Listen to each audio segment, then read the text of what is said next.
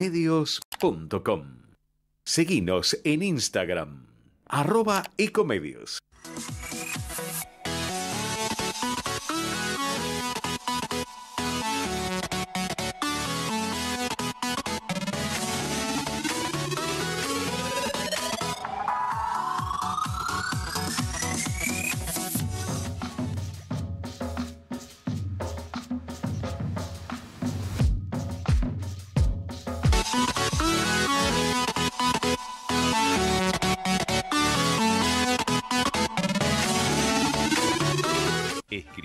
En tu ciudad.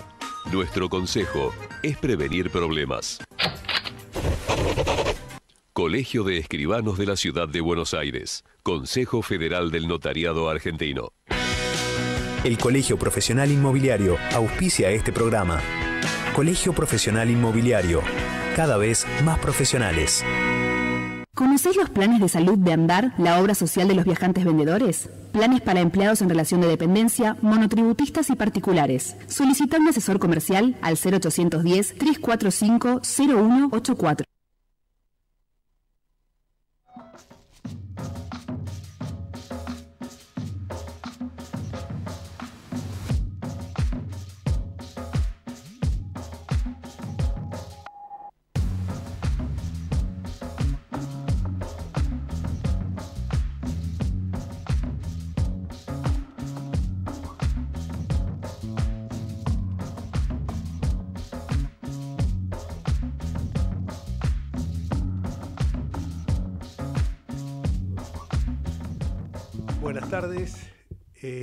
Entre Ustedes y Nosotros. Eh, hoy eh, estamos pasando momentos muy difíciles en Argentina, por cierto, eh, muy difíciles porque nos han colocado al borde del abismo, un gobierno que no resuelve su interna, o mejor dicho, que la pretende resolver, pero teniendo como rehén a 47 millones de argentinos, eh, obligó la renuncia de Martín Guzmán y realmente hemos visto de que lo que viene ahora es peor y no me gusta ser apocalíptico. Ayer estaba anoche en un programa de televisión y me, me- me- me criticaron porque me decía si no quiero ser apocalíptico, pero creo que nosotros tenemos que decir la verdad, la realidad, porque si nosotros nos estamos engañando sobre cuáles son nuestros problemas, nunca le vamos a encontrar una solución, lo vamos a procrastinar. Y si lo vamos a procrastinar así en el tiempo, nunca los vamos a resolver, sobre todo con un gobierno que está con un empecinado, con un sesgo fuertemente autoritario, empecinado en un esquema de gobierno que no ha funcionado, un plan económico que no existe. Y hoy vemos que los índices de pobreza cada vez son más alarmantes, la desocupación sigue creciendo. Y bueno, eh, me olvidé de presentarlo porque estoy con un temita de un amigo que está en un estado muy delicado. Hoy estamos acá con justamente con Luis Sebasco, que ya ha vuelto de su periplo y bueno, y tiene la misma preocupación. Hola Luis. ¿Qué tal, Jorge? ¿Qué tal? Buenas tardes. Eh, con lo que Jorge venía diciendo, eh, la verdad es que la concepción que el gobierno tiene de la economía es una concepción autoritaria, pero me parece que se da una paradoja. Eh, es una concepción autoritaria sin poder, porque la gente no responde a sus pretensiones de autoritarismo. La verdad que todos los precios cuidados eh, han fallado, que todos los controles han fallado, y es natural que fallen, porque no se puede controlar la economía de 45 millones de personas a partir de un decreto de la Secretaría de Comercio. Es decir, esto, es ridículo y, y es sabido que la economía tiene que ver con las expectativas. Eh, entonces, eh, en, ese, en ese contexto, eh, me parece que, lo que está ocurriendo es una farsa. Estamos, estamos lamentablemente ante un gobierno que, que es una farsa, que no está de ninguna manera eh, previendo las situaciones. No puede ser que asuma una ministra de Economía que no, no tiene un plan, que dice vamos a seguir con el plan que no existía, vamos a seguir con el no plan. Eh, y en realidad estamos con una inflación que se está desbocando eh, en un camino que es ridículo, 2.700 puntos de riesgo país, el Banco Central gastando los dólares que no tiene para sostener la moneda blue. Y además en, el marco de esta farsa, recién venía caminando por la calle Lavalle y cada cinco metros un arbolito ofreciendo eh, compra-venta de dólares, eh, en una actividad que teóricamente está prohibida, abiertamente este, ejercida en la vía pública, sin ningún tipo de recaudos, nos muestra cómo es esta farsa. Es decir, yo estoy a favor de, la libertad de, cambio, es decir, creo que no tiene sentido tratar de controlar el valor de la moneda. Seguro. Porque, porque es una moneda más. Pero, pero eh, si nosotros nos ponemos a pensar lo que eh, dicen las normas que este gobierno ha establecido, eh, que, que, no se controlan, que el Banco Central para controlar la moneda ilegal gasta dólares que no tiene, que la ministra de Economía está cuatro días después de haber asumido tratando de armar su gabinete.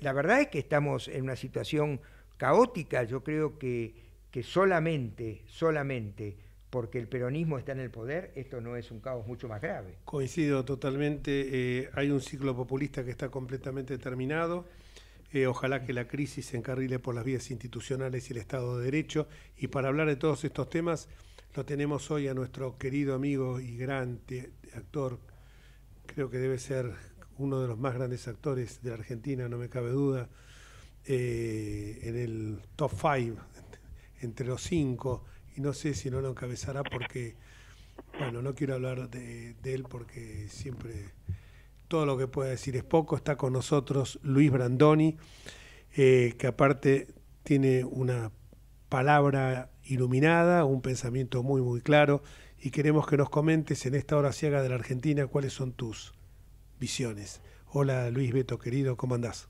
Hola, bueno, hola, ¿cómo te va Jorge? ¿Qué tal, querido? Bien, acá estoy. Mira, preocupadísimo, muy preocupado. Estaba escuchando lo que conversaban recién. Estoy sumamente preocupado. Nunca me imaginé que yo fuera a vivir una situación como esta. Y eso que he tolerado por mis años este varios tipos de peronismo, ¿no? pero esto esto no no lo, no lo imaginé nunca. De modo que tengo una gran preocupación por lo que está ocurriendo, por lo que vaya a poder ocurrir, pero de todos modos yo sigo guardando no no caprichosamente, sino basado en algunos pronósticos, en algunos síntomas que yo he visto, del cambio que ha hecho la sociedad argentina entre nosotros. Este, yo imagino, eh, es una, una manera de, de, de, poder hacer un análisis sobre la realidad política haciendo algún, algún tipo de comparación. La, la situación que estamos viviendo en el país, lo que ustedes están comentando, lo que todo el mundo comenta, lo que todo el mundo me pregunta por la calle, ¿de dónde vamos? ¿Cómo termina esto? Todo eso. Sin embargo, no se ha, por ejemplo, no se ha escuchado, no lo he escuchado yo, creo que no se ha escuchado en todo el país, a alguien que diga que se vayan todos, como fue en el 2001. Nadie dice eso.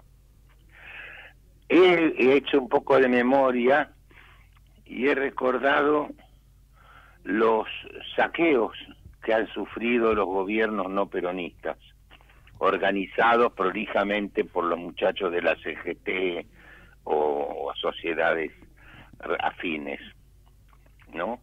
No hay violencia.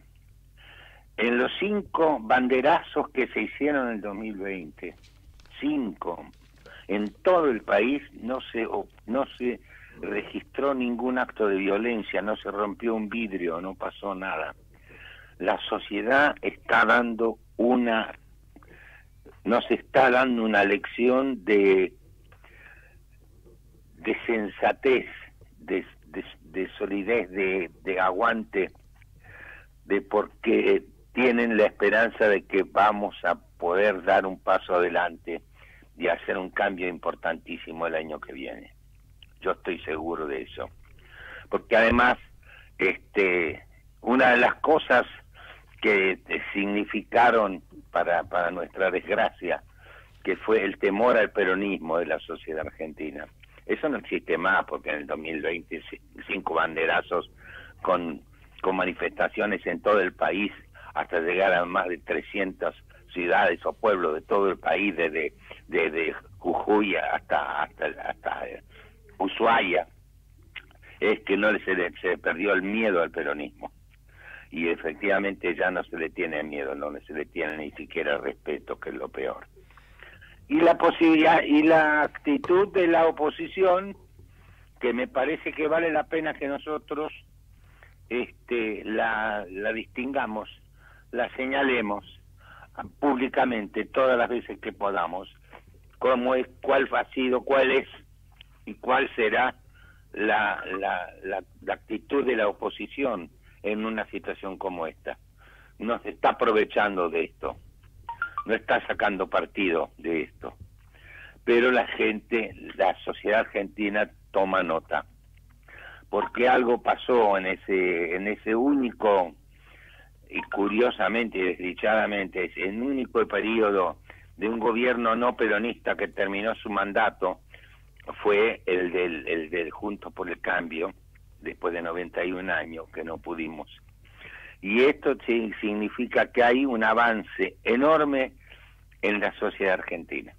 Esto es lo que, lo que yo quiero, lo que me da muchísimas esperanzas. Sí, en, eh, en realidad es, ese, ese avance existe y me parece que también ese avance está marcando un fin de época. Llegó un comentario que usted pensaba que, que, su propósito para seguir viviendo era ver desaparecer al peronismo. Y, en realidad no sé si fue así como lo dijo, pero lo cierto es que, es que para muchos de nosotros que hemos, hemos vivido este, y sufrido eh, distintas variantes y situaciones del peronismo, parecería ser que acá hay un fin de época porque lo que se Yo creo que sí, estoy convencido de que sí.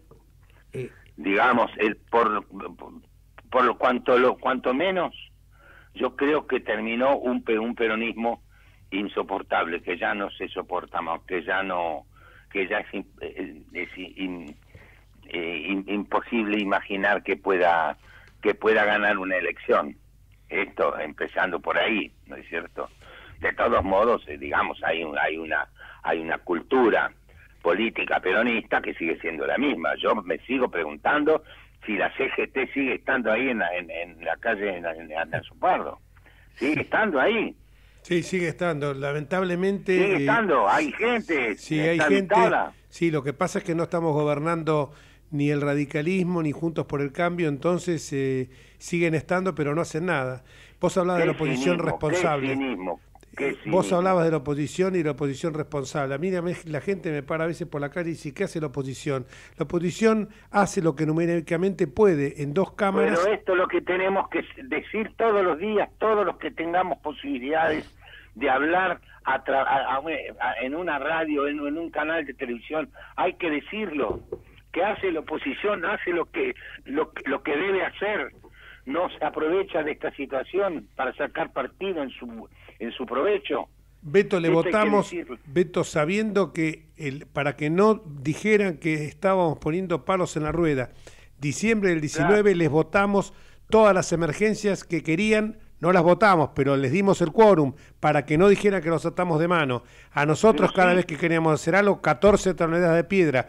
¿Cuántos paros generales le hizo Baldini Alfonsín? Más de 10 paros generales le hizo.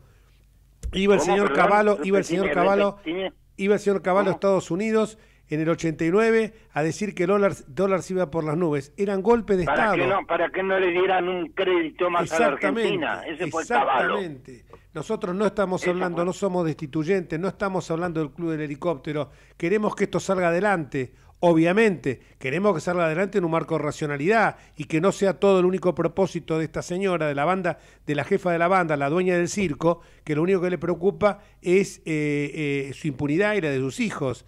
Y, que en eso arrasa todo. Claro. Disculpame que me pongo. se atreva, no hay nadie, no, nadie se ha atrevido a decir que es una injusticia que le hagan los juicios a la, a la vicepresidenta no escuché a nadie que dijera que es inocente, que no ha cometido ningún delito. Nadie lo ha dicho, ¿no es curioso? Es verdad, porque inclusive cuando se cuestionan los procedimientos, se cuestiona Sí. el procedimiento, no la realidad de los hechos. Y me parece No, que esto también hay claro, que señalarlo. claro, porque sabe que son unos ladrones, los ladrones más grandes de la historia argentina. Pero es que ella lo Sí, que no sí. quiere es el juicio, porque en el juicio va a salir y en el juicio salen a la luz las pruebas. Nosotros la semana que viene van a empezar los alegatos en el juicio de obra pública y cuando Sí. la fiscalía empiece a enumerar las pruebas, va a ser tremendo y ellos van a tratar de que eso no ocurra. ¿Cuándo es, ¿Cuándo es la fecha de comienzo del El- juicio? los alegatos empiezan el día 11, el martes que viene, lo que pasa es que se van a interrumpir a la semana por la feria judicial y después la fiscalía en el mes de agosto va, Ah, la creo, que, creo que tiene seis audiencias para, para exponer, ¿Cuántas? toda- seis creo que pidió, seis eh, días de audiencia para exponer toda la prueba. La carga probatoria que hay es enorme.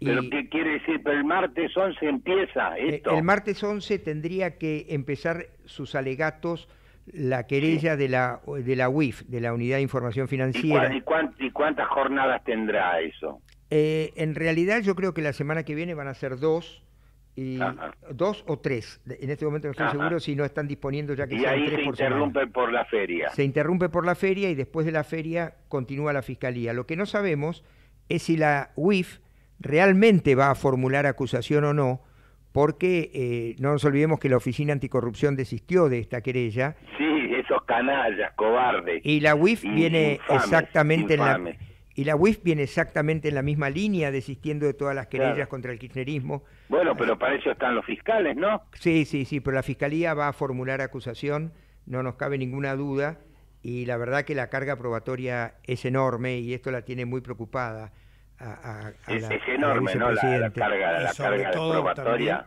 y Sí, sobre sí. todo porque el fiscal es un fiscal muy serio, Diego Luciani, y que aparte ya, eh, eh, más allá que está manteniendo todo bajo siete llaves para que después no lo acusen, no lo puedan recusar, bien. eh, ya se, se sabe que le va a pedir prisión de 5 a 15 años, ¿no, Luis? Sí, eh, sí, lo que pasa es que por la suma de hechos podría llegar a eso.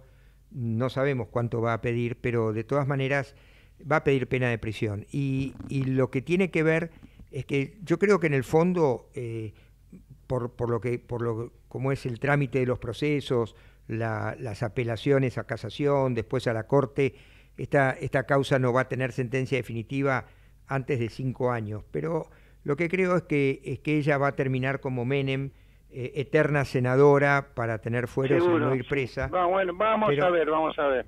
Pero bueno, Igual tiene igual tiene cadena perpetua social, ¿eh? exactamente, ese es el punto. Ese es el la punto. exposición de las pruebas Ese- la va a no dejar desnuda no- frente a la No sociedad. hay manera de errarle a eso, de, de evitarlo, ¿eh?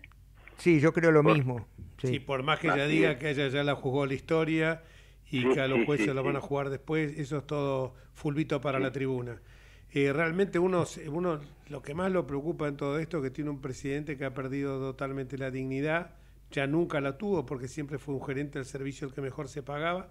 Yo que lo conocí cuando éramos diputados de la ciudad, yo por la UCR, él por la lista de Caballo Vélez, empezó militando en un partido de extrema derecha, recordémoslo, esto hay que machacarlo, y después de ahí fue pasando por todos lados, incluso hasta se quiso inventar algún pasado de acercamiento con Raúl Alfonsín, y eh, de ninguna manera eso es cierto, fue un simple funcionario en el área de economía, como hay miles de funcionarios, pero no, tuvo una, una cercanía. En algún momento también habrá querido acercarse a, bueno, porque siempre buscó el calor del oficialismo y como te digo, es un gerente al mejor al servicio que mejor le ha pagado y por eso no trepida en esto, después de haber dicho las cosas que dijo de la mujer, de esta mujer que la trató, la involucró en responsabilidad del pacto con Irán, la acusó de traición a la patria, eh, la de con sus fundamentos Nadie, nadie, nadie dijo cosas peores que él. que no es un hombre eh, no es un hombre de, palabra, de palabras, sino es un hombre de palabras que no tiene convicciones, sino que eh, se va a acomodar de acuerdo a las circunstancias. Jamás tuvo una convicción. Lo que pasa es que, bueno, ella lo usó. Y acá yo lo comenté en un programa, algo que es un secreto a voces ahora ya. A mí cuando me lo contaron me sorprendió, un conocidísimo y muy importante periodista me dijo, él iba a llevarle el nombre de Felipe Solá cuando se puso a hablar ella con él, dijo, sí, pero Solá no me garantiza lo que vos me podés garantizar, cómo son tus relaciones con la justicia federal. Él se vendió como un influyente. Por eso Solá, sin saber una jota en inglés, termina de canciller porque había que darle algún caramelo. Si él fue, eh, el, el, ¿cómo se llama? Alberto, a proponer el nombre de Solá, y él entonces, la furia de ella, y esto hay que decirlo, porque es historia, además porque ya estamos una edad, ¿no es cierto, Beto, que no nos vamos a callar las cosas, la furia de ella es porque todavía hoy sigue con las causas pendientes. Entonces dice, yo para qué lo puse... peor situación que cuando empezó este gobierno. claro, dice, ¿para qué lo voy a poner? Lo puse, por eso está enojada, lo pongo al monigote este para que me saque las causas. No solo no me las saca, sino que encima es un descarado económico. lo que pasa es que esto, esto, este razonamiento que describe Jorge con razón es lo que muestra la, la superficialidad y como dice Melconian, lo berretas que son. En realidad, este, este concepto de que el presidente le puede sacar las causas, esto sacar las causas entre comillas, es absurdo. Quien conoce el sistema judicial sabe que esto no puede ocurrir. Lo que sí se puede eventualmente, por injerencia de la política, es demorar un proceso.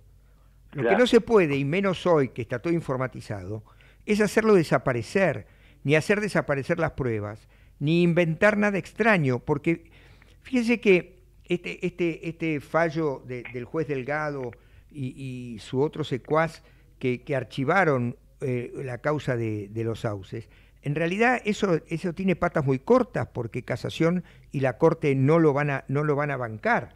Es decir, esto de, sacar las causas es una cosa que se puede hacer eventualmente en Santa Cruz, donde todos los fiscales y los jueces le respondían, pero no en un ámbito de una justicia federal heterogénea y por, si todo esto que estás mencionando fuese, fuese poco, están está el cuaderno de este hombre que, claro, hizo bueno, trabajo extraordinario. Yo, yo he tenido oportunidad de leer esa causa de, de, los cuadernos, así llamada, y el nivel de prueba de esa causa es tremendo, pero no solamente el nivel de prueba, sino también eh, las declaraciones que hay.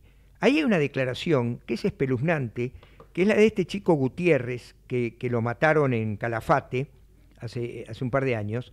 Y este chico Gutiérrez cuando declara, que era el secretario privado de... ¿Cómo repetime? Repetime. Gutiérrez, Fabián Gutiérrez, el que, el que mataron en Calafate eh, hace, hace un año y algo. Sí, un año y algo. Eh, que lo trataron de involucrar con una cuestión sentimental, ¿te acordás? Sí, bueno, a él lo matan, pero en su declaración en la causa de los cuadernos, no solamente relata cómo se movían los bolsos con la plata y demás, sino que además él dice virtualmente, yo le tenía miedo porque es mala. Y cuenta cómo lo maltrataba. Y, cómo él renuncia y que cuando la nombran vicepresidente lo llama Néstor Kirchner y le dice que tiene que volver porque estaba alguien de confianza. Y dice, no, mirá, yo me quedo por si me necesitan aparte, pero ese rol no lo quiero hacer más porque no la soportaba. Es decir, no solamente eh, la cantidad de, casos donde eh, hay confesiones corroborando la entrega del dinero tal cual se, dice en los cuadernos de Centeno, sino que además eh, las declaraciones directas explicando cómo es la personalidad de esta mujer, ¿no? cómo le tenían miedo y la palabra que usaban era esa, es mala, ¿no? Este, entonces, sí, sí, sí, pero, yo lo sé. pero además el nivel de, de, prueba que hay es enorme, porque el trabajo que hicieron en primer lugar Diego Cabot y en segundo lugar Stornelli, eh, con Bonadío, fue muy puntilloso, corroborando que lo que decían los cuadernos realmente ocurrió. Entonces, eh, por más que ahora Centeno haya querido, de alguna manera, eh, presionado, seguramente haya querido este, relativizar en algunos hechos, la cantidad de hechos que hay, la cantidad de plata que se movió, la corroboración de que, de que esos bolsos que se entregaban después iban al sur, ya sea Calafate o Río Gallegos, corroborado por los pilotos de los aviones, corroborado por la gente que, los subía, y, explicaban que algunas cosas que eran de, relativa importancia, aunque tuvieran valor, iban en la bodega del avión, pero los bolsos siempre iban este, con ellos adentro del avión en el dormitorio presidencial y que solamente los podía bajar Muñoz. Todo, Claro, claro. Todo eso está, está demostrado. Por eso lo que yo, lo que yo quiero saber es, por ejemplo, con, tu, tu, contacto permanente con la gente, eh, ¿cómo vive la gente la existencia de esos procesos? Si tenés de alguna manera No, ellos palpado. están convencidos de que es así. Simplemente lo que no, no, no, no, no pueden darse respuesta es cómo termina esto. Este, ellos están preocupados, pero no, no por ellos, sino por lo que nos, por cómo va a quedar el país. Esa es la preocupación sí. de la gente. Pero la gente está ten- teniendo una actitud admirable de, de serenidad, de, de no de no echar leña al fuego, de, de no crispar las cosas. Los únicos que hacen quilombo son los muchachos que quieren más plata para, para no trabajar. Son las únicas manifestaciones que hay, pero no hay otras manifestaciones.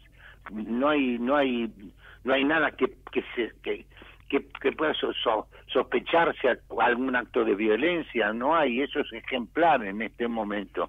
En otros países sería un, un, un caos absoluto. Nosotros ya estamos acostumbrados a todo esto, pero creo que va, estamos dándole la despedida. Sí. Esto, muchachos, es que quería decirles. Más allá que Creo el que le Estado, estamos dando la despedida. ¿eh? más allá que el Estado que vos decías es un Estado de una ciudadanía que está tomando conciencia, que el tema no pasa por la canonjía que son los planes de trabajar, sino que pasa por los planes sociales, pues el plan social es el fracaso más grande de la política social.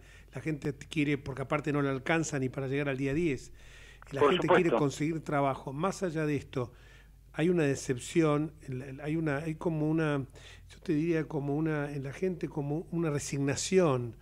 Eh, yo creo que eh, habría que por ahí, y, ahí esto te lo pido a vos, porque vos sos un referente, no te das una idea, sos un referente increíble de la gente, y cuando hay tres o cuatro faros que la gente mira siempre, que son vos, Campanella y Kovadlov.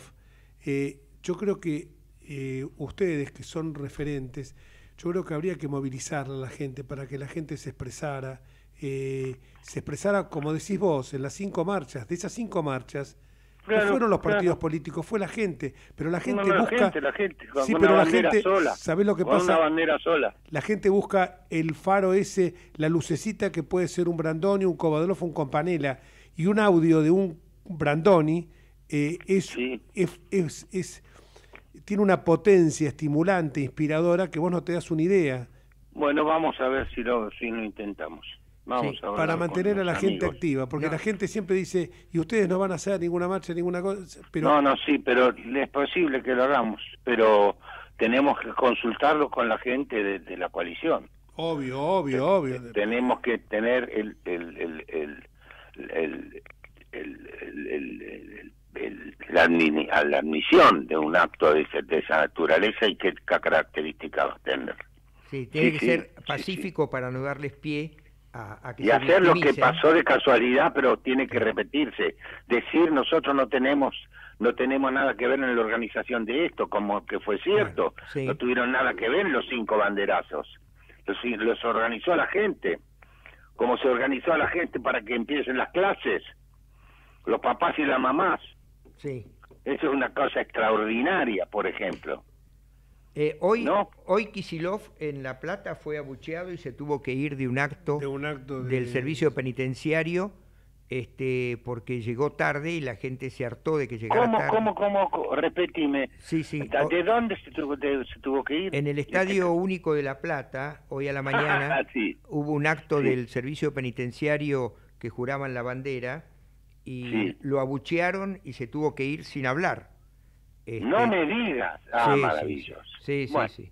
Es decir, la gente ya no les tiene paciencia en nada. está. Bueno, bueno, parece que no estamos tan equivocados, muchachos. No, de ninguna manera. Yo los Beto. tengo, los tengo que abandonar porque tengo una cita acá en la esquina de mi casa. En un Bueno, bar. un abrazo gigante y tu voz hasta, siempre hasta clara. cualquier momento y muchas gracias No, por el claro, llamado. gracias a vos. Chao, gracias a vos. Un abrazo, un abrazo. Y vamos ahora a la al corte publicitario, ¿no? Pausa. Ecomedios.com AM1220. Estamos con vos. Estamos en vos. Estamos llenos de historias verticales. Gira tu celular. En Catamarca tenés algo distinto para contar.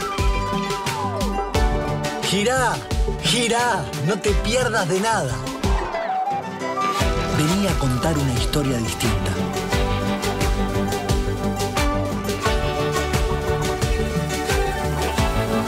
Descubrir algo distinto?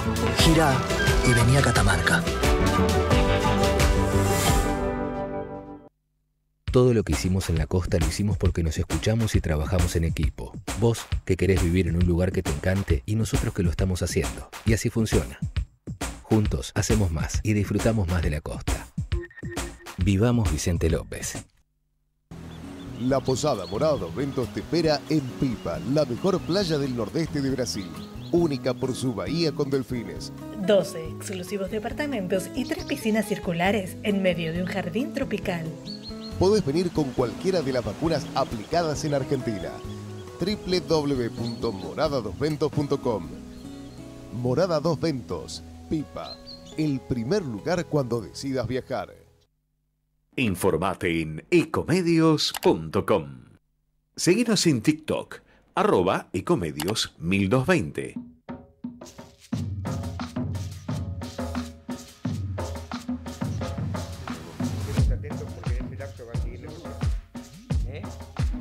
Estamos en el aire en este momento, estábamos hablando con eh, Luis Sebasco, que parecería ser que la sesión de mañana en el Senado, para avanzar en la ampliación de la Corte, se caería porque Cristina no junta los votos. Se le va a hacer cada vez más complicado a esta buena señora. Eh, la patrona de estancia me parece que está entrando en la faz declinante de su potencial político, pero no hay que descuidarse porque sabemos que esta mujer es una mujer que tiene una ideología inflexible, una autorreferencialidad imbatible y es una persona a la cual la autocracia y el pensamiento autorreferente se combinan permanentemente.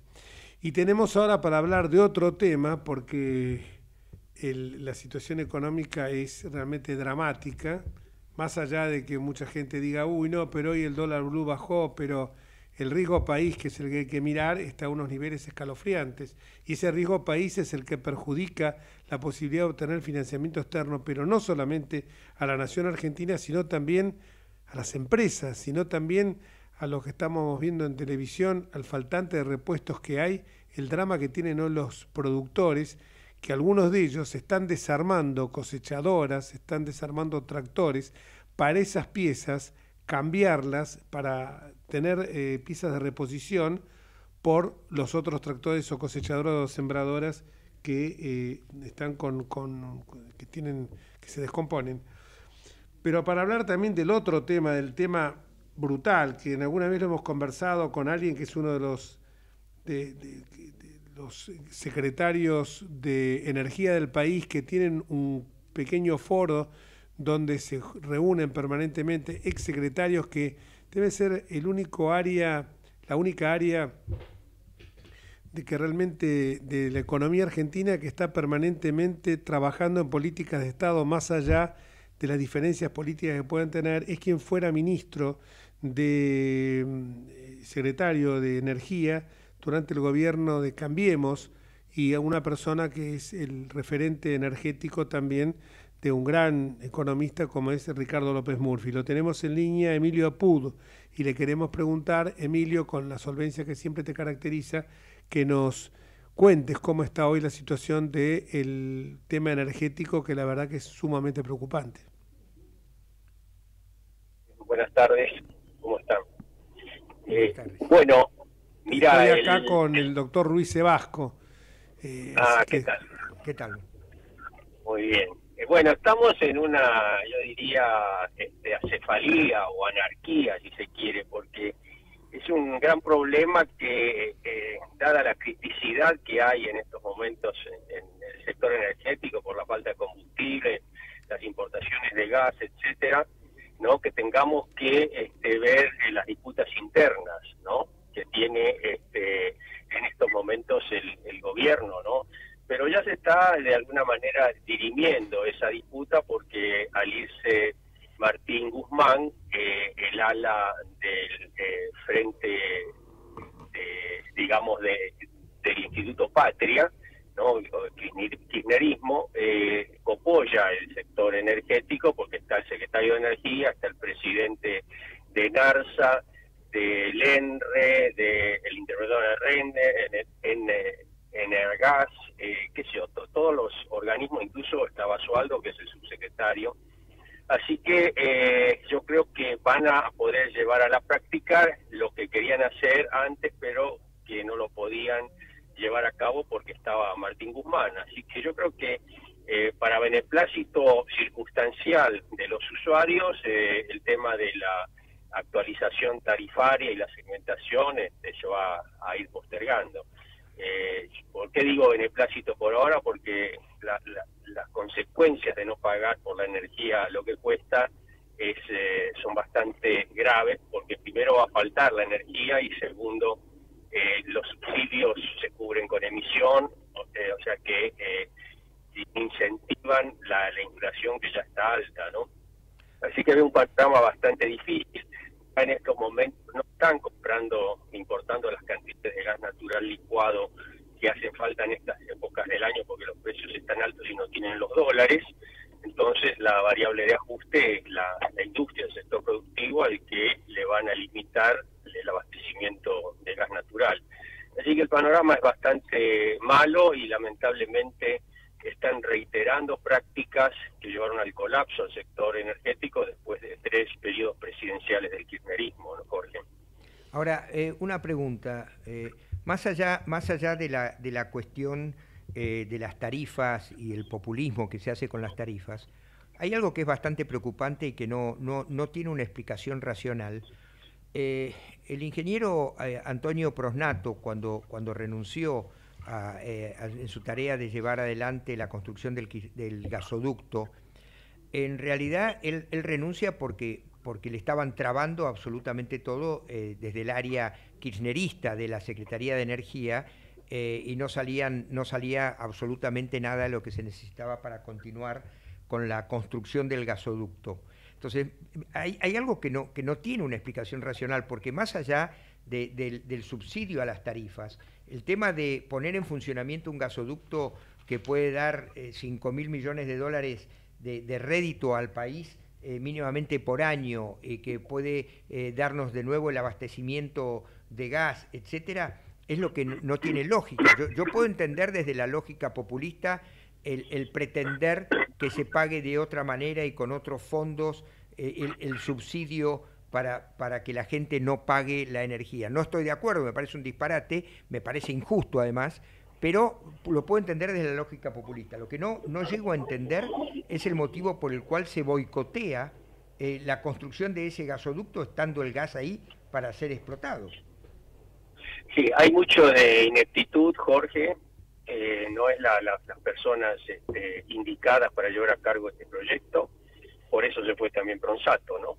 Por otro lado, hay politiquería, yo diría, bastante barata, porque ellos ya saben que el año que viene, en el invierno que viene, no va a estar el gasoducto.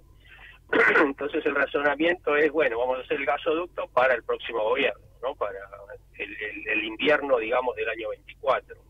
Entonces, este, no, no se preocupan mucho por acelerar y, sí en este, tratar de eh, dirimir entre ellos dos espacios de poder porque este proyecto se lo, por, un decreto, se lo responsabiliza a ENARSA, que ahora se llama Energía Argentina y había sido IASA, etcétera, que está en manos de Jerez, que es un, muchacho de, la Cámpora, para que este, haga eh, toda la eh, ingeniería, el seguimiento, la contratación. Son múltiples contratos, múltiples eh, permisos que hacen falta una coordinación de gente que tiene experiencia en esto. Por ejemplo, el estudio de impacto ambiental, en cada provincia tiene su legislación ¿no? para el estudio de impacto ambiental y hay cuatro provincias por las que va a eh, atravesar el, gasoducto. Segundo, hay este, temas de servidumbre de paso. El, gasoducto pasa por eh, propiedades privadas, por campos privados y bueno, hay una ley de, de servidumbre, como la conoces bien, este, que eh, todavía no está del todo aclarado. Hay provisiones, eh, cada 30, 40 kilómetros en este tipo de gasoductos hay que poner válvulas, válvulas para operación, para etcétera, y no en el mercado internacional. Es decir, un montón de cosas este, que hace falta un gerenciamiento de proyectos con gente idónea, no con, responden a cuestiones de, este, de espacios políticos y de favores que tienen que hacer dentro de su espacio político. Por eso, a mí me parece que eh, es de difícil explicación el razonamiento tuyo. se debe preguntar toda la gente, pero yo creo este, gente incapaz y por otro lado, gente que ya no está apurada porque con esa mezquindad de siempre de muchos políticos, sobre todo los kirchneristas, piensan, ¿para qué vamos a andar apurando las cosas si los beneficios se los va a llevar el próximo gobierno? Qué, qué, miopía, qué... Eh, bueno, el populismo siempre decíamos que entierra en el altar del presente el futuro de las generaciones venideras. La pregunta que te hago es esta. ¿Qué, expectativas podemos tener? Yo diría que nulas, pero quiero que, viste, recién hablábamos con Beto Brandoni y a ver si, si podíamos buscar algo que sea algún aliciente, alguna esperanza para la gente que hoy está totalmente decepcionada, resignada ya a su suerte. Pero ¿qué futuro nos puede esperar si el área energética la van a seguir manejando como los llaman a, los Federicos? Sí, eh, por suerte faltan este, 17 meses, ¿no? Y, bueno, lo que hay que primero explicarle a la oposición, a la gente cuál es la realidad, ¿no? Que no se puede vivir en una ficción de pagar la energía un 20% de lo que cuesta. Yo, directamente a la, falta de energía. Este, por otro lado, eh, hay que rápidamente poner este, competitivo los productos de vaca muerta, sobre todo el gas a través del gas natural licuado. En estos momentos hay una oportunidad única que es este, que han explotado los mercados para el gas por una cuestión ambiental. Sabes que todos los compromisos que hay por el calentamiento global hacen que la transición el gas natural sea el elemento, el combustible que más va a utilizar porque está el carbón que eh, emite mucho el doble de anidro carbónico que el gas. Por otro lado, se ha este, eh, sensibilizado mucho desde el punto de vista geopolítico y además este, de abastecimiento la invasión rusa a Ucrania. Europa quiere desesperadamente dejar de depender de Rusia. Entonces están buscando proveedores confiables de Occidente. Nosotros somos de Occidente, pero no somos confiables. Entonces lo que hay que hacer es tratar de que nos vuelvan a creer, que vuelvan a pensar que pertenecemos a Occidente, que somos país, un país eh, democrático, republicano, capitalista, etcétera, ¿no? Para que las inversiones vengan acá, porque tenemos el segundo recurso de gas, que como te dije, es el elemento más codiciado energético en esta transición hasta lo que se llama net zero o este fin de la combustión de hidrocarburos que puede ser dentro de 30 o 40 años. Entonces, nosotros estamos acostumbrados a la coyuntura, al día a día, ¿no? Tenemos que salir de eso. El, el, eh, que probablemente sea este, el, próximo gobierno, bueno, ya tiene que ir pensando cómo despejar eh, todos los aspectos legales, este, los aspectos macroeconómicos, etcétera, que hoy hacen imposible inversiones en la Argentina. Y sin inversiones, por más que tengamos el mejor eh, eh, recurso, que tengamos el know-how de cómo sacarlo, que haya mercado, si no viene una inyección fuerte de capitales, esto no se mueve y va a quedar bajo tierra. Bajo tierra 30 años no va a valer nada. Entonces, en eso es lo que yo creo que la, eh, la oposición tendría que ir pensando, y creo que se está trabajando en eso, si bien no es un, un un tema este, de atractivo político electoral, sí hace al desarrollo de nuestro país, porque si se logra poner en valor el gas que tenemos en vaca muerta, vamos a tener ingresos iguales a los del campo por exportaciones de, energía. Y eso va a cambiar completamente a, la forma de, de, pensar y de ser de nuestro país. no Van a venir inversiones que es lo único que genera trabajo genuino, es lo único que mueve a, la economía y a la calidad de vida. Bueno, entonces yo creo que si se hacen bien las cosas tenemos una oportunidad. Esa ventana de oportunidad, si no la aprovechamos antes del año 30, o sea, dentro de siete años y medio, quedamos afuera. Eso te lo puedo asegurar. Entonces hay que hacer una política de Estado ¿no? De que, bueno, el gobierno que venga en el año 27 no cambie las reglas de juego de que las estableció en el año 24. Y el que venga en el año 31 tampoco, ¿no? Es la única forma de generar confianza, que no es ni más ni menos que lo que hace Uruguay, lo que hace Paraguay, lo que hace Chile. ¿eh? No, no es de los países nórdicos lo que estoy diciendo. Pero no podemos ir de un lado para el otro como nos tiene acostumbrado sobre todo el peronismo. Recordad que este, eh, Menem era peronista y Kirchner era peronista. Y sus políticas diferían 180 grados, ¿no? Ahora, en esto que es tan importante que está mencionando, eh, ¿cómo se habría que trabajar el modo de generar una corriente de opinión?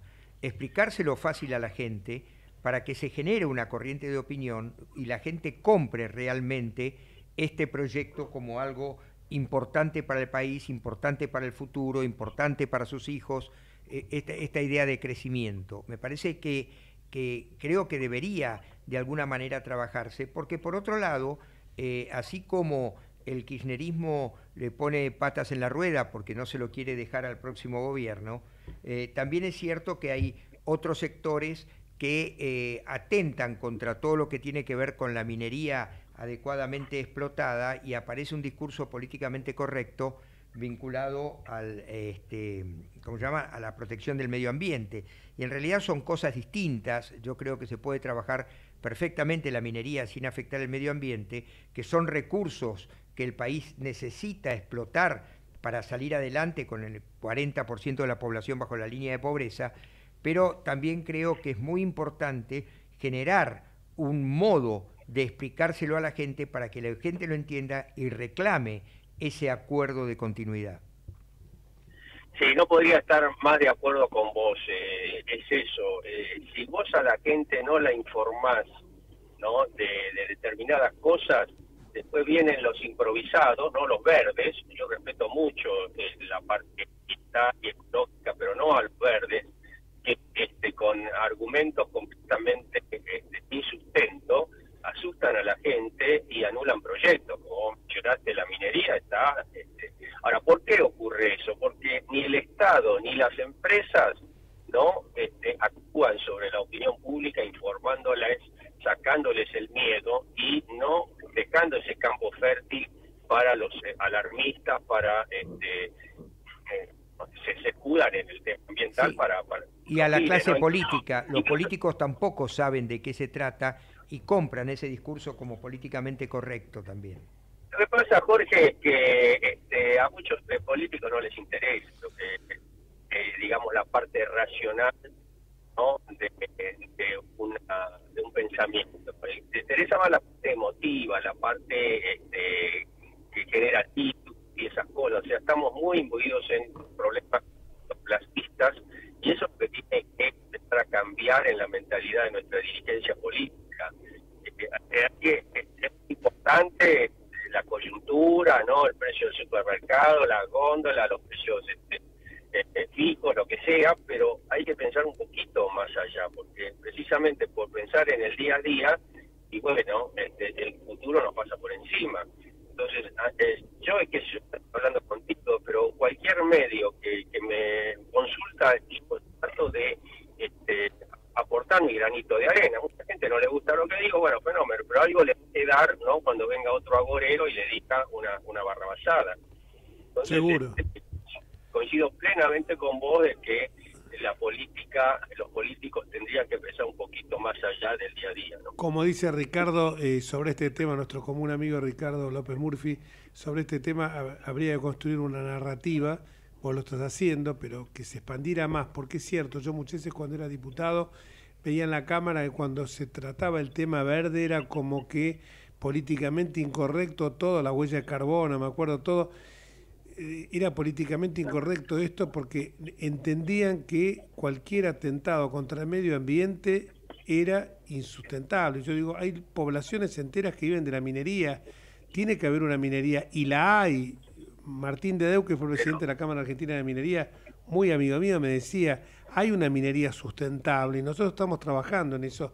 Pero claro, se aparecen estos grupos, eh, como por ejemplo Pino Solanas, que se había embanderado en una cuestión que, bueno, eh, es feo hablar de una persona que ha fallecido, pero después uno se enteró de que los fines no eran tan, tan claros como los que le estaban enarbolando.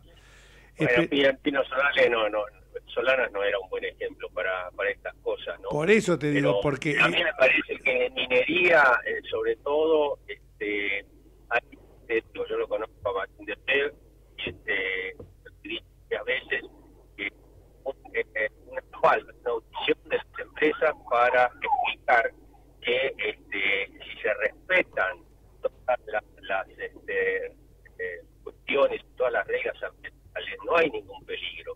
Y otra cosa que hay que avisarle a la gente, explicarle a la gente, sobre todo el lugar donde se producen estas explotaciones, cuál va a ser el beneficio concreto para ellos. Porque lo, lo, cierto es que esa gente, yo una vez estuve ahí en Famayá, que sé yo, la gente en la calle, y me dice, escúcheme, a mí que me interesa esto, si lo único que veo son camiones de ruedas de dos metros de diámetro que me pasan delante de casa y me llenan de tierra.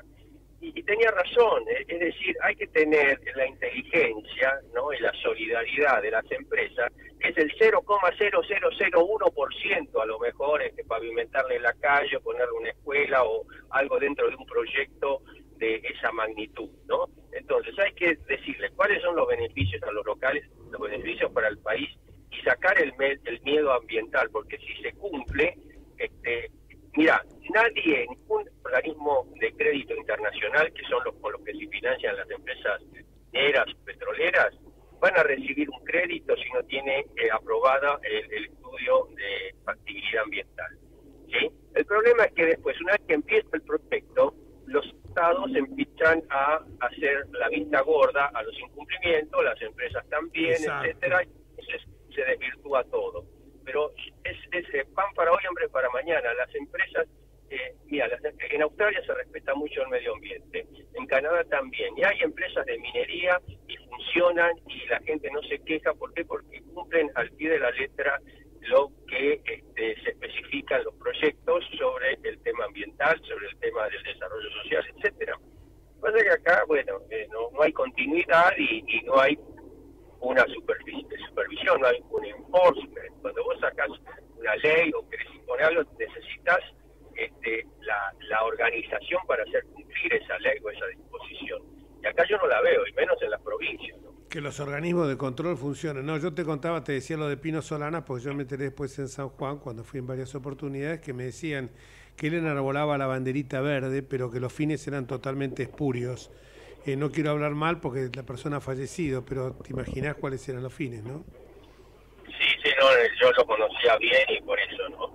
no, no al aire y, y, y, de una persona que falleció no quiero hablar. No, pero no, queda, no queda bien, pero las cosas hay que decir, porque si no, a veces más de uno me decía no, porque Pino decía, yo digo, pero muchachos, yo conozco no, las dos caras de la moneda, por favor. No, no, no, no era auténtico y no estaba convencido de lo que decía. Exactamente.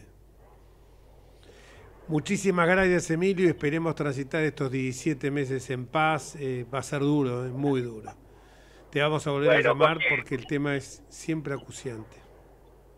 Un gusto haberte acompañado y bueno, entonces conmigo, ¿eh? un abrazo. Gracias, Emilio. Buenas tardes.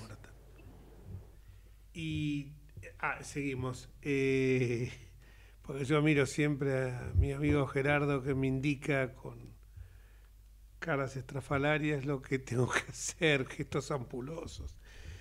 Bueno, la verdad que ha dejado mucho, ha dejado el, mucho la, sí. lo que lo que dijo este Emilio Aput. Sobre todo, sobre todo esta cuestión de cómo se postergan los proyectos tan importantes para el país por eh, decisiones de, de, de, política menor, de política mezquina. Los grandes proyectos, eh, evidentemente los grandes proyectos eh, estructurales de los países nunca van a, a concretarse en un, en un, solo gobierno. Yo no puedo menos que pensar, cuando, cuando uno ve las grandes catedrales góticas, que tardaban 200 años en construirse y que aquel que la había diseñado difícilmente viera comenzada la construcción o si la veía comenzada sabía que nunca en vida la iba a, ter a ver terminada. El, el ejemplo, el de... ejemplo viviente que tenemos hoy es la Sagrada Familia de Gaudí. También, claro, pero, pero eh, en, en la, aquellas catedrales góticas que tardaban 200 años en construirse y se seguía el mismo proyecto y se las terminaba, eh, en realidad el, el, ser humano necesita tener esa proyección. Entonces, la mezquindad de decir, no voy a, no voy a explotar el gas de vaca muerta arriesgándome a que nunca se pueda sacar solamente porque no lo pueda disfrutar, entre comillas, un gobierno distinto. Y no es disfrutar un gobierno distinto, es para la gente. Es decir, eh, ¿para qué queremos o para qué se quiere hacer política si no es para la gente? Y en realidad, en, términos de normalidad, cuando una obra la empieza un gobierno y la termina otro, el otro gobierno no debería atribuírsela, sino agradecer al que la empezó e inaugurarlo juntos. Esto es la lógica, esto es la normalidad, esto es lo que la gente realmente vería como... A ver, nosotros nos miramos a Uruguay y nos reflejamos en Uruguay. Y nos reflejamos en Uruguay que hace estas cosas. La normalidad, eh, la continuidad. Pero mirá vos, cuando fue la, las... La boca se inundaba permanentemente. Cuando asume de la Rúa al poco tiempo eh, de asumir como jefe de gobierno, inaugura lo que eran unas bombas eh, de achique del agua, unas bombas que evitaron que las inundaciones, hoy la boca ya no se inunda. Sin embargo, esa obra la había iniciado el anterior eh, jefe de gobierno, intendente en ese momento, que era Jorge Domínguez. Y cuando inauguró la obra de la Rúa, lo hizo, dijo, esto se inició durante el gobierno de Jorge Domínguez y le invitó a participar, porque sabía, porque hay que pensar que el Estado es uno solo, el Estado no, Claro, estos delincuentes saben que ellos piensan que el Estado es, algo patrimonialista, que está incorporado al patrimonio de cada uno. Entonces, esto es mío y yo hago lo que quiero con esto. Como decía eh, Luis XIV, apre de de lucha, después de mí el, diluvio. Era eso. Bueno, pero vamos a una pausa porque si no, aquí ahora viene informativo, ¿no es cierto? No, no viene informativo. Tanda, no, si viene noticiero y tanda publicitaria es informativo y noticiero es lo mismo. Discúlpeme, señor Gerardo, pero es así. Vamos Desde Buenos Aires, transmite LRI 224, AM 1220, Ecomedios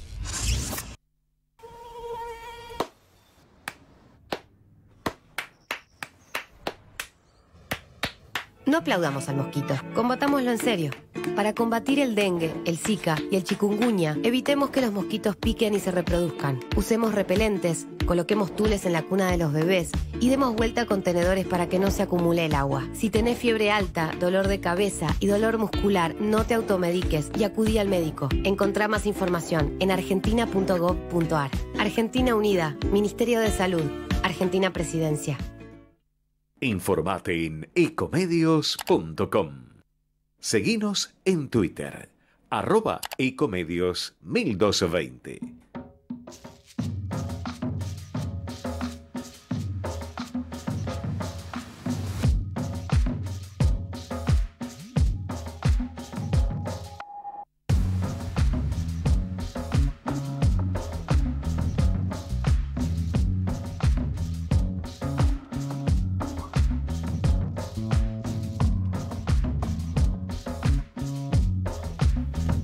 Bueno, continuamos con el programa.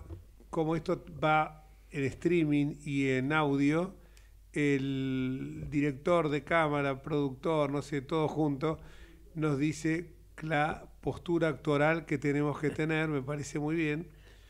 Eh, y vamos a seguir hablando de este tema. La verdad que el doctor Luis Jorge Sebasco, para los que bastante conocidos, es un destacado abogado penalista, fue juez nacional fue fiscal general de la Ciudad de Buenos Aires, hizo realmente una acción, una acción muy buena con la implementación de un sistema, por supuesto novedoso, porque la constitución era del 96, ya Vinitio había instalado, había definido que el sistema era acusatorio, eh, pero hoy me sorprendió con los conocimientos energéticos que tiene. Eh, así que desde que se acogió al retiro, desde que se jubiló, eh, muy joven, por cierto, porque se jubiló cuando correspondía, pero tiene muchas inquietudes. Me sorprendió con todo lo que habló de energía y creo que lo sorprendió también a Pud. Eh, así que te felicito. Estamos diciendo, me dice, ¿cómo te sorprendí? Bueno, vamos a... ¿Sabes si me permitís, Jorge? Quería hacer un, comentario porque, volviendo a, lo que hablábamos con Brandoni, eh, la, verdad, la verdad es que uno no puede, en, este contexto de este gobierno de este no gobierno, eh, los que tenemos ya varios años, no podemos menos que recordar el gobierno de Isabel Perón. Eh, la verdad es que Isabel Perón queda, fue elegida por Perón como vicepresidente de la República porque eso le permitió a él no definirse entre los distintos sectores del peronismo. Ahí estaba la izquierda, la derecha, el sindicalismo, si el peronismo era un conglomerado de, sectores que no se podían ver entre ellos, cuando debe definir la fórmula presidencial, eh, es decir, eh, si elegía alguno de uno de los sectores, iba a demostrar una preferencia a quien lo quería mostrar y, la elige a Isabel Perón. Isabel Perón, eh, María Estela Martínez de Perón, en realidad no carecía absolutamente de preparación para, para el ejercicio del cargo y, cuando por el fallecimiento de Perón, que, que hace poco se cumplió el aniversario, 48 años, en realidad eh, eh, queda a cargo de la presidencia y la verdad que carecía absolutamente de preparación. Pero debo decir algo que, me parece importante.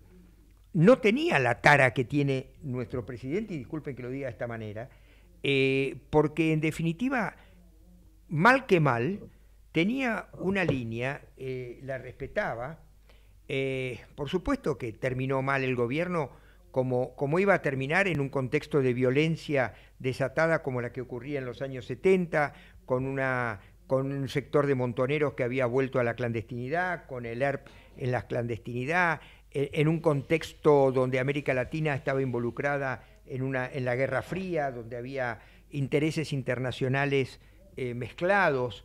Eh, era, era, un contexto quizás muchísimo más complejo que el actual, y obviamente eh, esa, esa situación terminó económicamente en el Rodrigazo,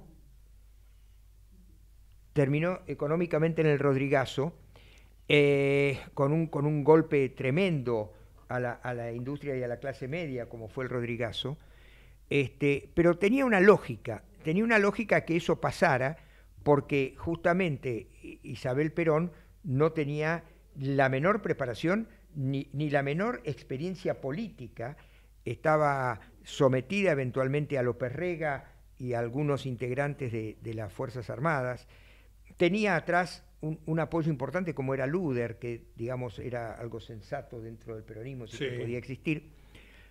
Pero bueno, terminó, terminó una debacle. Ahora, nosotros estamos repitiendo esa historia de un gobierno eh, de gente eh, claramente incapaz, con una discusión interna, por suerte, sin los niveles de violencia que había en aquella época, pero sí eh, con una deriva enorme. Y hay algo que es mucho más grave. En aquella época, como mucho, habría un 5% de pobreza. Hoy estamos en, más del 40% de pobreza. Entonces, la capacidad de, reacción y de respuesta del país es mucho menor. Entonces, me parece que, es necesario reflexionar un poco y, por suerte, y en esto, volviendo a lo que decía Brandoni, por suerte la gente no golpea los cuarteles como se golpearon en aquella época, por suerte no cabe la posibilidad de un golpe de Estado como, como ocurrió en aquella época, la democracia está afianzada mucho más que en quienes están ejerciendo el poder, está afianzada en la gente que reclama el sostenimiento de la República. Hay una supresión total del poder que tenía el partido militar. Hoy no eh, existe el partido militar, afortunadamente, y esta crisis la tenemos que resolver como se resolvió en el 2001 en el marco del Estado de Derecho. y en el marco institucional que nos marca la Constitución. Exacto, y me parece, me parece muy bien. Y creo que si la, la gente tuviera que manifestar algo, debería manifestarse nuevamente por la defensa de la República y que quienes están en el gobierno se hagan cargo de su fracaso y no darles una excusa, ni la menor excusa, para que puedan victimizarse. Exactamente. Eh, si no van a decir que estamos con el club del helicóptero, con las 14 toneladas de piedra. No, no, tienen que terminar, tiene que terminar, tiene que terminar el gobierno y hacerse cargo. Yo creo que se complica, porque me parece que este muchacho no va a resistir mucho más. Eh, lo digo porque lo estoy viendo, o sea, ya es como un boxeador que está eh, groggy contra las cuerdas. Hablamos mucho siempre de las reformas hacia el Estado, nosotros nos preguntan en los medios, nos preguntan por la calle, eh, ¿y ustedes qué proponen? Bueno, en este momento no somos gobierno, en este momento estamos, como bien lo decíamos con el Beto Brandoni hace un rato, eh, estamos, somos oposición, una oposición que en una democracia que obviamente eh, la única manera de resolver los temas es con el consenso y desde luego con como que se resume en algo aritmético, quien más votos tiene es el que consigue, sobre todo con gobiernos como este, el que consigue imponer su voluntad, pero hay planes, y la gente pregunta cuáles son esos planes. Los planes se vinculan con la reforma del Estado, reforma laboral, reforma sindical, reforma previsional, reforma, eh, eh, eh, reforma económica, tributaria, pero hay un tema que el, quien, a quien vamos a entrevistar ahora, que es el diputado nacional por la provincia de Tierra del Fuego, Héctor Tito Estefani, lo conoce muy bien y lo ha desarrollado en un proyecto muy interesante, que es justamente la reforma laboral. La reforma laboral que no implica eh, el despido de, la gente en forma indiscriminada, sino que es una reforma laboral en serio, protegiendo los intereses de los trabajadores, pero también alentando la inversión y que la gente no nos diga, como nos dice siempre, no quiero contratar a nadie porque laburó un año a 50 mil pesos y me pidió una indemnización de 2 millones de pesos. Gracias Tito por acompañarnos y queremos escuchar cuáles son la columna vertebral de tu proyecto. Hola Jorge, buenas tardes, bueno, un saludo a la audiencia, un gusto de poder conversar Estoy con, con el doctor Luis Sebasco, acá, el ex fiscal Doctor general Luis Sebasco, un placer, este, un gusto también conversar con usted. Igualmente. Bueno, yo, yo creo que la, el desafío de los gobiernos que, el gobierno que venga es precisamente cambiar con los problemas estructurales que a la Argentina no le permite desarrollarse. Y como ustedes bien estaba, como ustedes bien estaban comentando, esas reformas tienen que ver con la reforma tributaria integral, con una política de ingresos, una política cambiaria y el sistema laboral, ¿no? Que, que a veces este, decir eh, cambiar la estructura laboral, que la gente por ahí se resiste al cambio si eso va a significar que va a perder derechos. Lo que hay que hablar es de una modernización de nuestro sistema laboral. Para eso existe en el mundo lo que llama política comparada y hay otros países que ya resolvieron estas cuestiones como un seguro de, despido o de indemnización, que es la mochila austríaca. Acá hay un empresario eh, en la Argentina que es Teddy Carajosian, que también este, él, preparó un proyecto sobre este sistema de indemnización que liberaría a los trabajadores de, del juicio laboral y que les permitiría cobrar a los 30 días de, si es que renuncian a su trabajo, su, su seguro de, indemnización, o este, si es despedido, al otro día de ser despedido también su seguro de indemnización.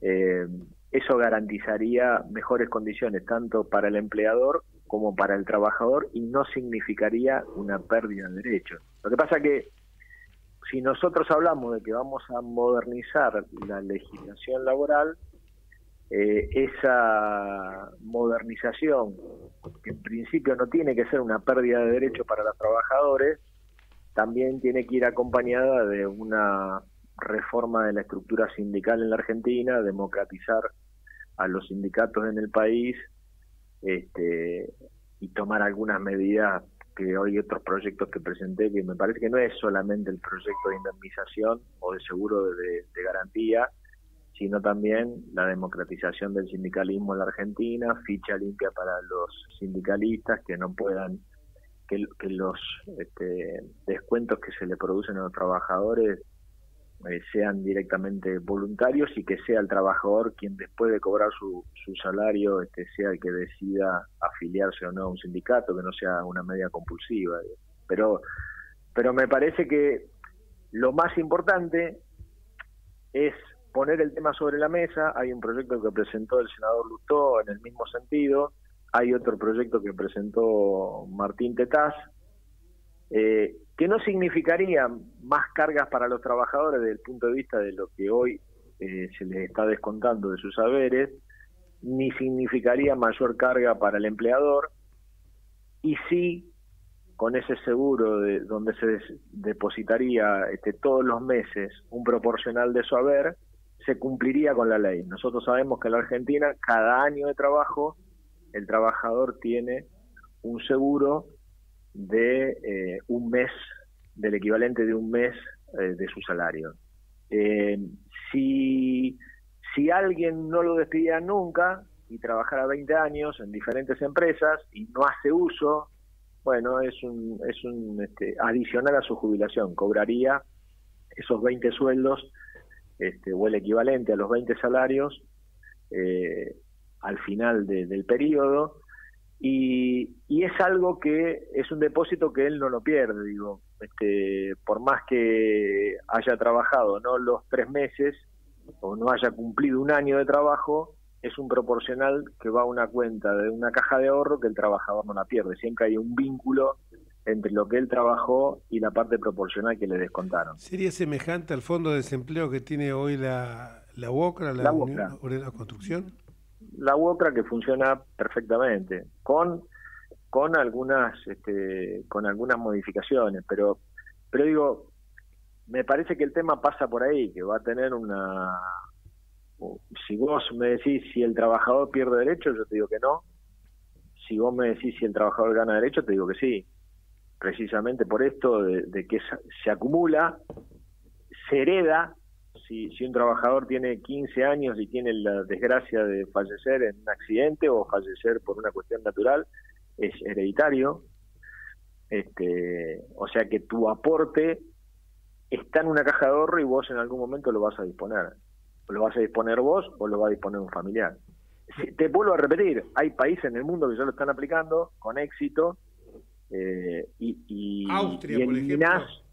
Sí, exactamente. la, la, mochila austríaco es, es, es, uno de los países que, que más este, más experiencia tiene. Ahora, hombre, yo creo que hay una industria alrededor del juicio laboral en Argentina. Eh, yo tengo casos en Tierra de Fuego de, trabajadores de dos años de una electrónica que, nunca cobraron su indemnización. Este, sí, está el juicio y que por ahí en algún momento va a salir, pero no se sabe cuándo y hay muchos trabajadores que no lo cobran nunca. Te voy a contar algo. Hace poco tuvimos una charla con eh, un, un grupo de políticos, tuvimos una charla con Raúl Timerman Raúl Timerman es un economista y encuestador de fuerte orientación kirchnerista. Sin embargo, había hecho, bueno, está siempre, no sé si será de fuerte orientación kirchnerista, pero está siempre en el canal oficial C5N.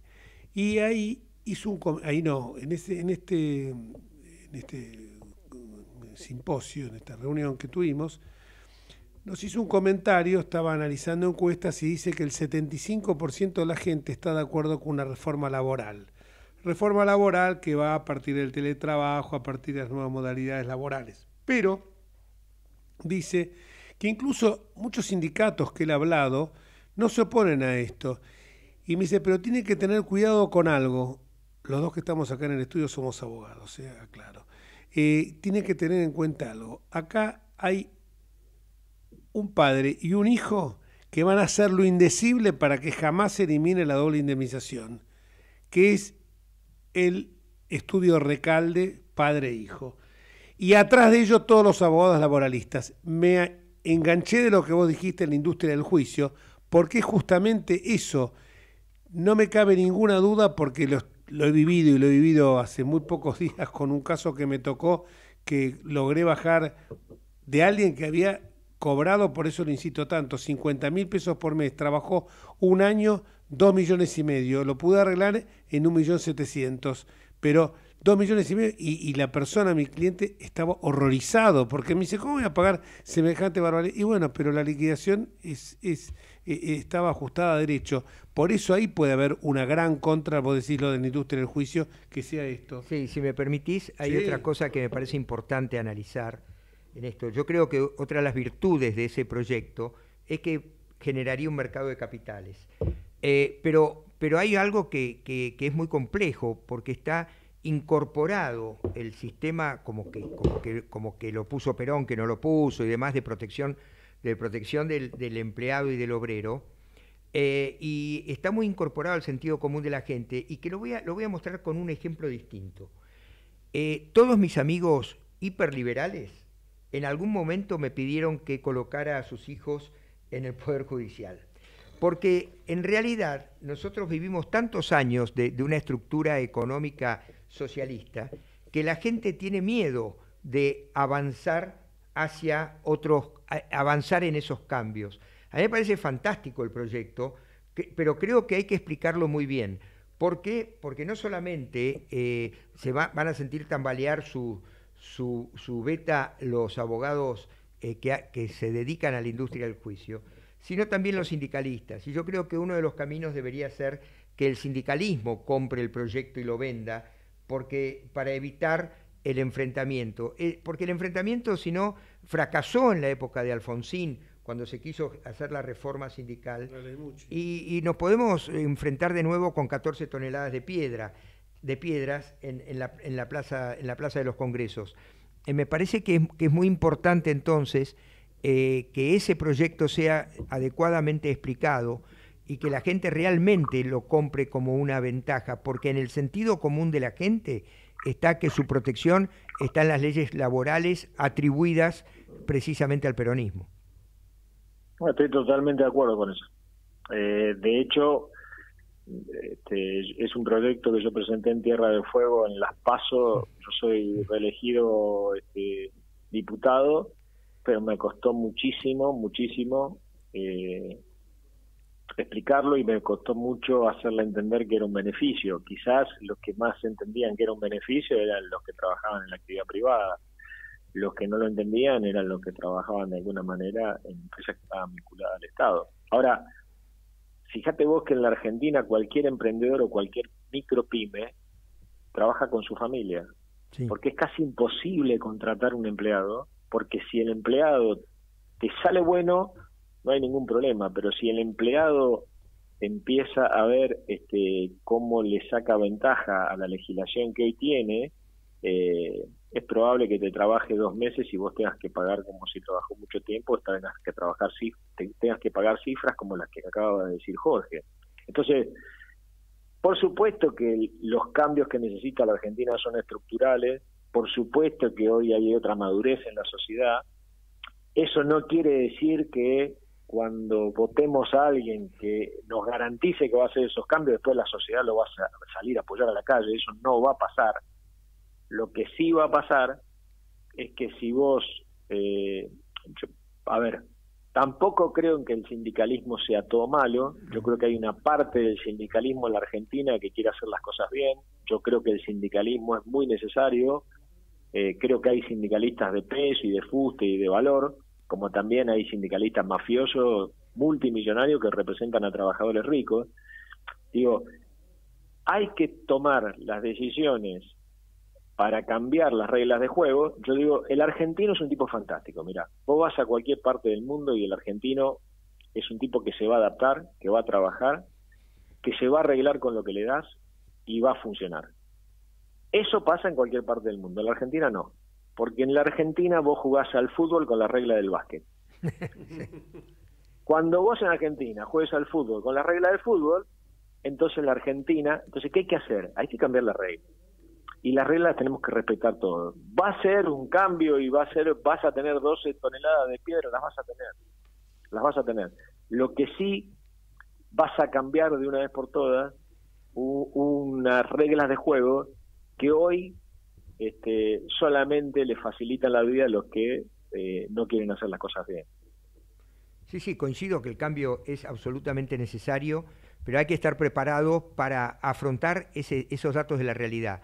Es decir, no se pueden hacer los cambios sin tener un claro conocimiento de, la cultura subyacente y qué hay que hacer para afrontar la resistencia que esa cultura subyacente naturalmente va a generar.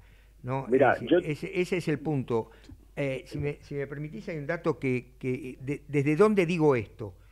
Cuando uno eh, analiza eh, en la antropología cómo, cómo funcionan las culturas y cómo la cultura genera una cosmovisión, eso te muestra que no necesariamente lo que funciona en un lugar del mundo funciona en otro, porque precisamente la matriz cultural es la que genera una cosmovisión y esa cosmovisión es la que hace que se tomen consciente o inconscientemente muchas decisiones. Por eso digo que a mí me parece fantástica la idea, creo que es necesario ese cambio, pero que para implementar ese cambio hay que ver cómo se afronta esa cuestión cultural que nos tiene tan paralizados. Totalmente de acuerdo. Totalmente. Mira, yo he presentado algunos otros proyectos de ley. Eh, yo te quiero contar, no sé si ustedes tienen cinco o siete minutos para que les cuente. Todo lo que quieras, Tito. Bueno, bueno, yo la Argentina termina la Segunda Guerra Mundial. Eh, primero que todos los que estamos acá hablando somos gente de más de 50, ¿no? Sí, más de 60. Unos cuantos más. Bueno. A ustedes. Cuando termina, la, cuando termina la Segunda Guerra Mundial, Argentina, por una circunstancia, se queda con la tercera flota naval mercante de buques. Sí. Nosotros vivimos en el octavo país del mundo en tamaño. Tenemos 5.000 kilómetros de litoral marítimo, 4.000 kilómetros fluviales que vinculan a cinco países y no tenemos barcos. Teníamos, después de la Segunda Guerra Mundial, la tercera flota naval mercante. En el año 59 Frondizi fundó ELMA, Empresa y Líneas Marítimas Argentinas. Transportábamos carga a todos los países del mundo. Em, ¿Qué nos pasó? Teníamos astillero, construíamos barcos, teníamos la tenemos la Escuela Nacional de Náutica Manuel Belgrano, teníamos profesionales de primera línea. ¿Qué nos pasó? Nos pasó que los barcos, vos sabés que son gemelos, se fabrican por un diseño de ingeniería para consumir menos combustible y para transportar más carga. Bueno, lo que nos pasó es que nuestros barcos iban tripulados casi con el doble de gente. El último barco que construimos en la Argentina fue el, el portacontenedores Isla Gran Malvina se construyó acá en Buenos Aires. ¿Qué año? Ese barco, en, la década del 80, 1980, en ese, ese barco, en cualquier país del mundo, era tripulado por 20 personas. En la Argentina era tripulado por 40. Claro. ¿Entendés? Entonces, es importante hacerle frente a una cultura, con una contracultura pero realmente la cultura que nosotros hoy tenemos impuesta en la Argentina nos costó 24 años de recesión. Tenemos la misma recesión económica desde 1951 al 2021 que Irak. Sí. Entonces, digo, y, y, nos podemos comparar con Siria, con Chad, con Sudán, con Venezuela. Cuando nosotros este, hace 40 años nos comparábamos con los mejores países del mundo. Entonces digo, es cierto lo que vos decís, pero yo creo que hay que hacer el esfuerzo por, por esta contracultura, convencidos de que va a ser el motor de despegue de la Argentina como país, porque el potencial que tiene la Argentina evidentemente nunca lo hemos podido sacar adelante. Sí, es, verdad, y es como lo que hablábamos hace un rato con el tema de la energía y con todas esas cosas que, que absurdamente nos traban. Eh, y creo que, que el momento, eh, digamos, estamos a un año de, producir un cambio, eh, pero me parece que, que, hay que trabajar para que el cambio sea real. No basta con tener razón, no basta con querer ser ejecutivo. Es necesario que la gente lo entienda para que además los tiempos que, se, que va a demandar el cambio real para, para mostrar los efectos también sean soportados. Eh, no, se, puede decir alegremente la, la, inflación es fácil de resolver. No, no, es fácil de resolver. Y, y, este tipo de cambios también eh, es, importante, pero eh, recordemos una cosa, el, el, proyecto de las AFJP, que fue un muy buen proyecto en aquel momento, que también estaba destinado a generar un, mercado de capitales, etcétera, eh, la gente nunca se terminó de convencer y cuando ya estaba empezando a funcionar, vino Néstor Kirchner con, con Amado Vudú y dijeron, no, vamos a devolverle la seguridad a la gente, voltearon las AFJP, las destruyeron y finalmente eh, tenemos un ANSES altamente deficitario. Eh, pero la gente no tiene conciencia que el ANSES es altamente deficitario. Le echa la culpa de que las jubilaciones son bajas al gobierno y no al desmanejo que hay en la ANSES. Entonces, eh, pero, pero la imagen de la ANSES y del PAMI y demás está metida y aunque no funciona, aunque funcione mal, está presente. ¿Por qué? Porque los han convencido que no hay otro modo. Entonces, me parece que esto en la misma línea debería ser eh, trabajado a partir de explicaciones sencillas, de explicaciones concretas y de, y de, explicar cuándo estarán los resultados y cómo. Sí, yo concuerdo y comparto totalmente. Creo que la diferencia, las sociedades son organismos vivos, tienen bacterias que les producen enfermedades, pero también tienen los anticuerpos que le dan la posibilidad de curarse. Si no, Alemania no sería lo que es. Eh, creo que ese, ese anticuerpo la Argentina lo tiene. Necesita de liderazgos claros, necesita de un plan con políticas de Estado que se puedan explicar de manera sencilla, con ejemplos, con gente proba, con gente formada, que, esté a la altura de las circunstancias de los liderazgos que el país necesita. Necesita argentinos que, que que estén en la política no por una cuestión de más poder ni obtener recursos económicos, sino que estén en la política porque la conocen y la creen como una herramienta para transformar la realidad. Y si esos liderazgos este, tienen la capacidad de explicar esos planes y tienen la capacidad de ir informando a la sociedad de cómo despacito, porque hoy estamos cayendo en un ascensor que no tiene frenos y la salida es subir por una escalera con peldaños que tiene una separación de 20 o 30 centímetros cada uno. Hay que irle explicando a la Argentina que por dónde se sale y cómo se va avanzando cada uno de los días despacito para salir de esta crisis. Tito, muchísimas gracias. La verdad que íbamos a hablar, hablamos de un tema y la cooperación fue tan rica que terminamos hablando también del tema de Elma eh, que fue muy ilustrativo para todos nosotros. Un fuerte abrazo y nos estamos viendo. Una, el agradecido soy yo, Enrique. Un saludo a los dos y un saludo a la audiencia. Chau, Y vamos ahora a la tanda publicitaria. Pausa. Vamos la radio.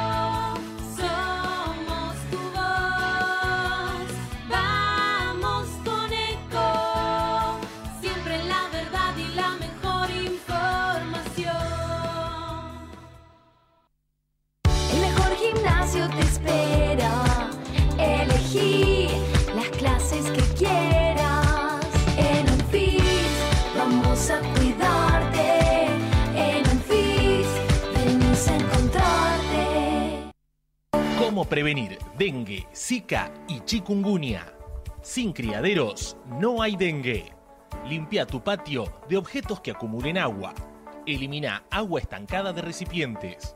Reemplaza con tierra o arena el agua de tus flores.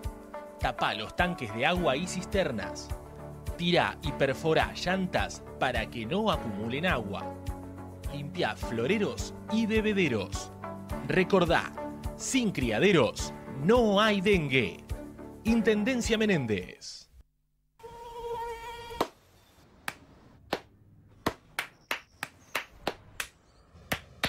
No aplaudamos al mosquito, combatámoslo en serio.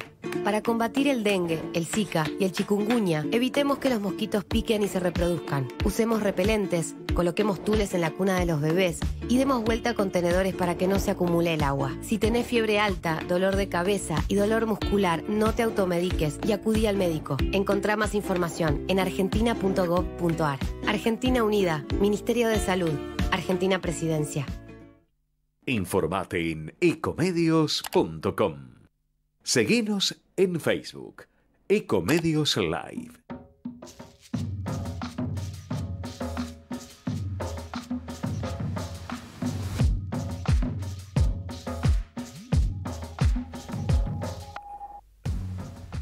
Y seguimos en Entre Ustedes y Nosotros. Eh, tenemos ahora otro invitado más en el día de hoy y que justamente lo es un gusto siempre conversar con él por una voz, a mi juicio, preclara en todo lo que hace a los temas judiciales, todo lo que hace al derecho constitucional y a la justicia.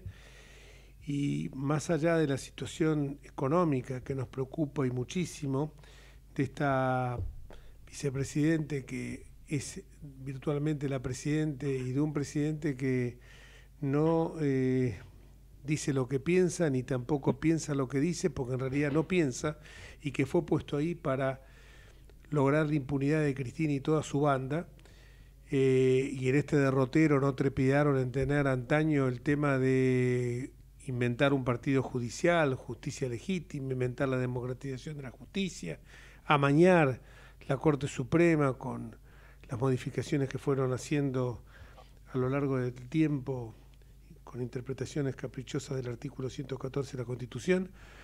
Hoy apareció el tema en estos días de la Corte de 25 miembros, otro disparate que ya hemos hablado más de una oportunidad, pero ahora parece que pusieron las máquinas a funcionar a todo trapo y eh, se habló en las últimas horas de la posibilidad de que el kirchnerismo presione en el Senado para avanzar en el día de mañana con la ampliación de la Corte.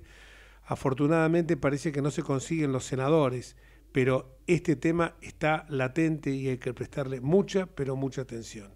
Ya tienen despacho de comisión y para escuchar, para informarnos bien de esta cuestión, nada mejor que ahí en el Sapsai. Hola Daniel, acá estoy con Luis Evasco, que estamos haciendo el programa porque nuestro amigo Osvaldo se fue para el Reino Unido, de, visita nomás, eh, y queríamos conocer tu opinión al respecto. Gracias por...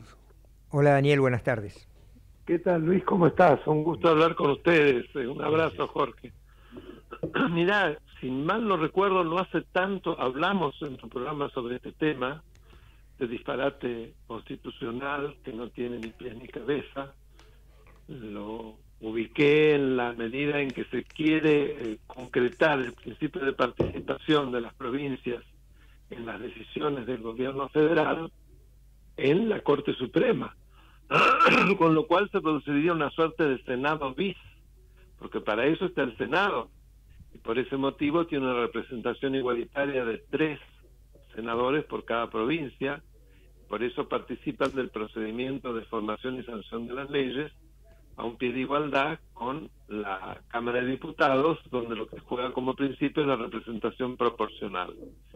Pero en la Corte Suprema tiene una razón de ser muy definitiva, muy diferente. Ella solo dicta una sentencia cuando, o va a tomar un caso, para decirlo más claramente, cuando hay sentencia definitiva. Es decir, que ya se han pronunciado a los tribunales inferiores.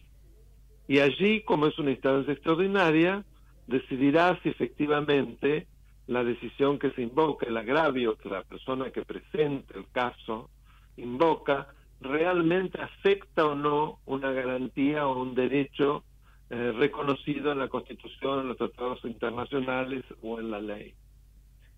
Sería absurdo además que se produjera esta suerte de designación de parte de gobernadores, facultad que por otro lado no tienen, porque entonces ya no se revisarían más los actos provinciales ni las constituciones provinciales, que obviamente la Corte Suprema tiene la facultad de hacer.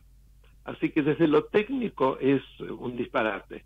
En realidad la verdadera razón es política. Acá lo que se busca es tener jueces militantes una vez más y eh, lograrlo por esta vía para conseguir la impunidad de Cristina, de sus atlates y de su familia, obviamente. Esa es la verdadera razón de ser. Todo lo demás uno lo explica simplemente para que la audiencia tome conocimiento de por qué es un disparate constitucional. Pero en realidad es un pretexto para lo otro. Tu olfato político, mm, ¿qué barrunta en este tema? ¿Se podrán conseguir esa Pensemos que es una mayoría simple, ¿no? Eh, Mira, solo sí. Sí, tu olfato político te dice, porque vamos a hablar eh, en esta Argentina del disparate, eh, vos sabés que por ahí algún, algún gobernador instruye a sus senadores de decir, mire muchachos, porque le compra, compran espejito de colores, vamos a tener un, un, un miembro de la Corte, vamos a garantizar entonces impunidad para los actos que cometamos nosotros, no viendo que va a ser uno entre 25. Pero bueno, puede llegar a generar, en lugar de una corte digna como la que tenemos con un presidente, con, un, con, un, con miembros muy, muy, muy dignos como Carlos Rosengrad, que, eh, a quien hemos felicitado ya por su incorporación a la Academia Nacional de Ciencias Morales, eh, siempre puede aparecer algún gobernador con estas ideas estrafalarias.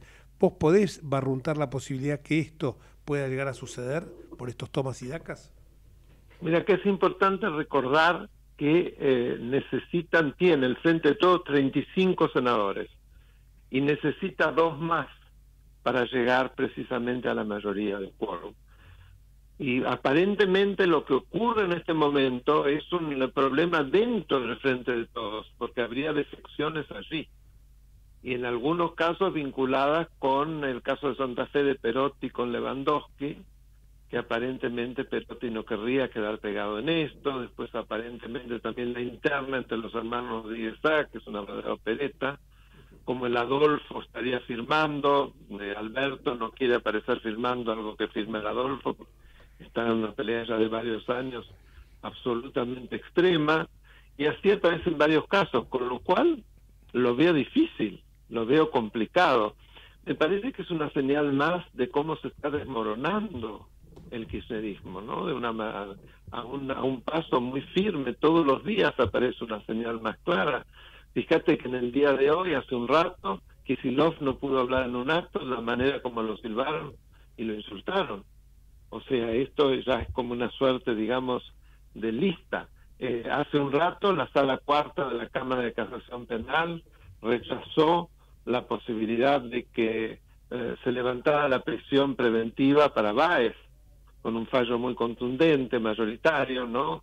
De dos de los jueces, eh, Gustavo Hornos creo que fue el voto primero, y bueno, votó en contra, por supuesto, a favor del dictamen de Javier de Luca, que sabemos que justicia legítima, quien también integra justicia legítima, que es el tercero en esa sala, que ahora no recuerdo quién es. El segundo es Carbajo. Eh, lo señalo porque fíjate cómo se van agregando señales. Ángela Ledesma será?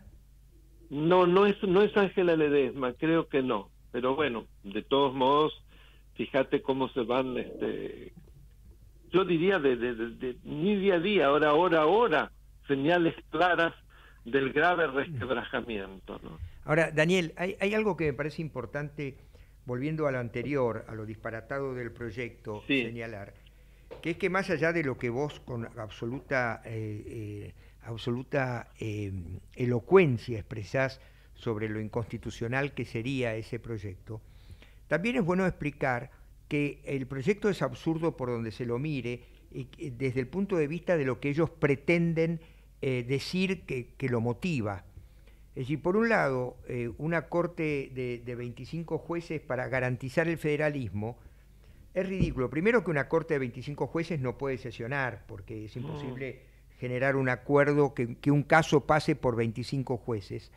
Entonces, en principio habría que dividirla en salas si uno la divide en salas, ellos que están planteando de que, de que hay que garantizar el federalismo, lo cierto es que cada sala va a estar compuesta por tres o cinco jueces para que pueda funcionar. Y además la, y en, la en ese contexto... La Constitución habla de una sola corte. Sí, sí eso aparte, sí, ¿no? Aparte, eso sí. aparte de las razones constitucionales, pero desde lo práctico sería imposible porque se dividiría en salas, con lo cual lo que ellos pretenden de garantizar una eh, comprensión federal del caso también desaparece, sería como la corte actual, ¿no es cierto? Entonces, esto, esto no tiene sentido, más allá de que la división en salas, como bien dice Jorge y como siempre lo sostenés vos, sería inconstitucional, porque la Constitución habla de una corte, no de cinco o diez cortes. Pero, pero más allá de eso, el, el planteo es absurdo en sí mismo. No solamente no garantiza mayor celeridad en los casos, sino que tampoco garantiza ese pretendido federalismo que, en realidad no tiene sentido, eso de que cada provincia designe un juez de la Corte. Y, por último, si yo tuviera que litigar un caso contra la provincia de Mendoza o de Entre Ríos o de, o de Córdoba, eh, por supuesto que si hay un juez puesto por el gobernador de Córdoba lo vamos a recusar, con lo cual evidentemente tampoco tiene sentido desde esa perspectiva, es decir, el proyecto es absurdo por donde se le busque, no solamente es inconstitucional en su, en su concepción, sino que es absurdo en, en cuanto a relacionarlo con los fundamentos que se le pretendieron dar. Sí, coincido totalmente con lo que planteás, sabés que yo todo esto lo he expresado. Sí, sí. La garantía del plazo razonable del fallo de los CISER, que es un leading case de la Corte Suprema, estaría absolutamente despedazada, porque imagínate lo que implica que lo que hoy se ve en cuatro vocalías pasaría a multiplicarse con 21 vocalías más. Sería algo infinito.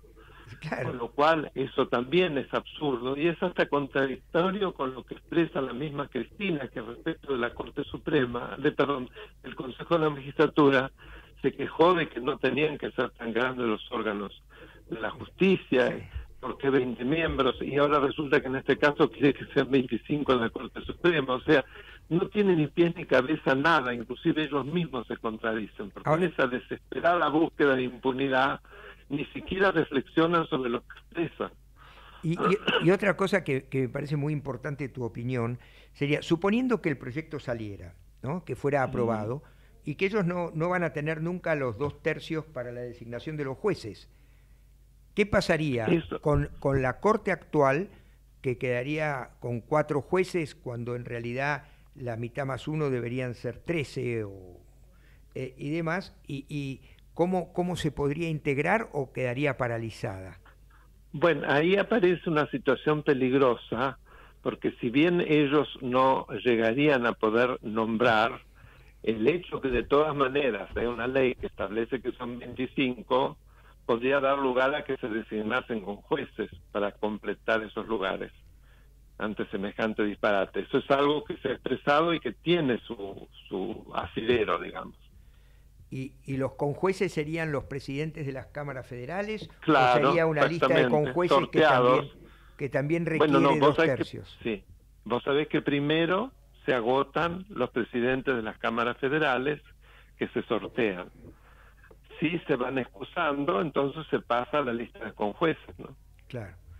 Por eso, es decir, eh, sería, sería una corte que se integraría para cada caso eventualmente. Claro, pues imagínate qué locura. sí, por eso. Por eso no puede, esto no tiene que pasar claramente. Y yo me alegro mucho porque aparentemente ni siquiera va a pasar por el Senado, ni, ni va a hacer falta que la, que la duerma como todas las demás iniciativas de este tipo desde hace ya casi cuatro años, que la duerma diputados. Eh, ¿Cómo ves el futuro vos desde el punto de vista institucional de la Argentina? Más allá que todos deseamos que este gobierno termine el 10 de diciembre, pero vemos que la realidad nos da un cachetazo en forma permanente porque vemos que ya directamente la presidente, la vicepresidenta ha tomado las riendas de la economía y, va hacia adelante con esto y vemos un presidente ya totalmente vapuleado y que incluso más en, en el canal oficial C5N hubo algún periodista que habló de la necesidad de su renuncia. Mira, evidentemente lo veo con enorme preocupación porque es una suerte de erosión, te diría ahora ahora, en donde se va despedazando todo y dónde está la contención de eso. Es difícil preverlo, pero no creo que sea totalmente disparatado descartar una situación de acefalía total y permanente del Ejecutivo, que esto ocurre, como lo digo para la audiencia, cuando de manera permanente no hay ni presidente ni vicepresidente y lleva a la obligación de aplicar la ley de acefalía. ¿Vos pensás que puede darse el caso, yo también lo pienso, que, eh, bueno, lo vemos las manifestaciones tan fuertes que están sucediendo en estos días eh, Mm. contra algunos funcionarios del gobierno, el otro día lo vimos a Ferraresi, o que insultaba en la calle, hoy el tema Kisilov. ¿Vos pensás de que eh, una renuncia de Alberto puede también precipitar la renuncia de la vicepresidente? No lo descarto, no lo descarto. Es difícil saber porque ya va más allá de lo jurídico, ¿no? Es Seguro. Bueno, pero vos sabés que en esto lo jurídico y lo político, lamentablemente en, en algunos temas van demasiado de la mano, eh, que no debería ser, pero bueno, el- uno está viendo estas posibilidades en forma constante porque eh, lo hablábamos en otro bloque con, con Luis, de que esto es una situación inédita, porque esto creo que está superando ya el 2001, está superando hasta, Sí, sí, para mí supera, sin duda. y hasta el gobierno, hasta el, el periodo final de Isabel, ¿no? Sí, sí, sí, sí, esto va va a pasar a la historia como el caso más tremendamente atroz de debilidad, de crisis de- de social, política, institucional y podríamos seguir en todos los campos. Más un gobierno absolutamente que no gobierna. Ese es el punto central. Eh, me parece Claro. que la definición es exacta, Daniel. Un gobierno que no gobierna, no, no existen. Parece un contrasentido, pero es así. Es, Es, decir, un presidente que es un presidente virtual, pero que de todas maneras tiene capacidad de resistencia pasiva y la ejerce, porque evidentemente debe estar con una bronca tremenda, y una vicepresidente con todos los problemas que vimos, pero que además es una multiprocesada, como no ha habido nunca una, un caso tan tan extremo, digamos. Qué triste todo esto, ¿no? Nunca pensamos que lo íbamos a vivir, ¿no es cierto, Daniel? Sí. Lo que pasa es que me parece que algo que así que es un régimen que lleva 20 años y si nos remontamos más atrás yo te diría más de 70 no se sale tan fácilmente. No, Creo que se sale con dolor y es lo que está pasando, ¿no? Muchísimas gracias, Daniel. Siempre una palabra Ha sido un placer. Un fuerte abrazo, Daniel, gracias. Hasta luego, gracias. Igualmente para los dos y como siempre te pido después que me manden eh, el audio Obviamente, porque yo lo y- subo a mi canal no, de YouTube. Y a la, bueno, ahora eso iba, a la gente que decirle cuál es tu canal, eh, cuál es tu canal de YouTube. ¿Cómo no? Mira, simplemente en un buscador ponen Daniel Alberto Sapsay en YouTube, entran, no están obligados a suscribirse, de todas maneras es gratuito, y acceden a, todos los este, videos que hoy en día son cientos. Y una de las secciones son las entrevistas. que por supuesto son muy ilustrativas y le digo a toda la audiencia que tanto aquellos que participamos en el mundo jurídico, ya sea profesional o académico, como las personas que son profanas en temas jurídicos, es muy interesante escucharlos porque son eh, breves y son muy pero muy sustanciosos y llevan explicaciones que a lo mejor uno es para devaneo de intelectuales, lo lleva Daniel al, al llano. Así que el canal de Un millón de gracias a los dos, es muy queridos bueno amigos. Gracias, Adiós, querido. buenas Un abrazo enorme. Hasta luego. Hasta luego.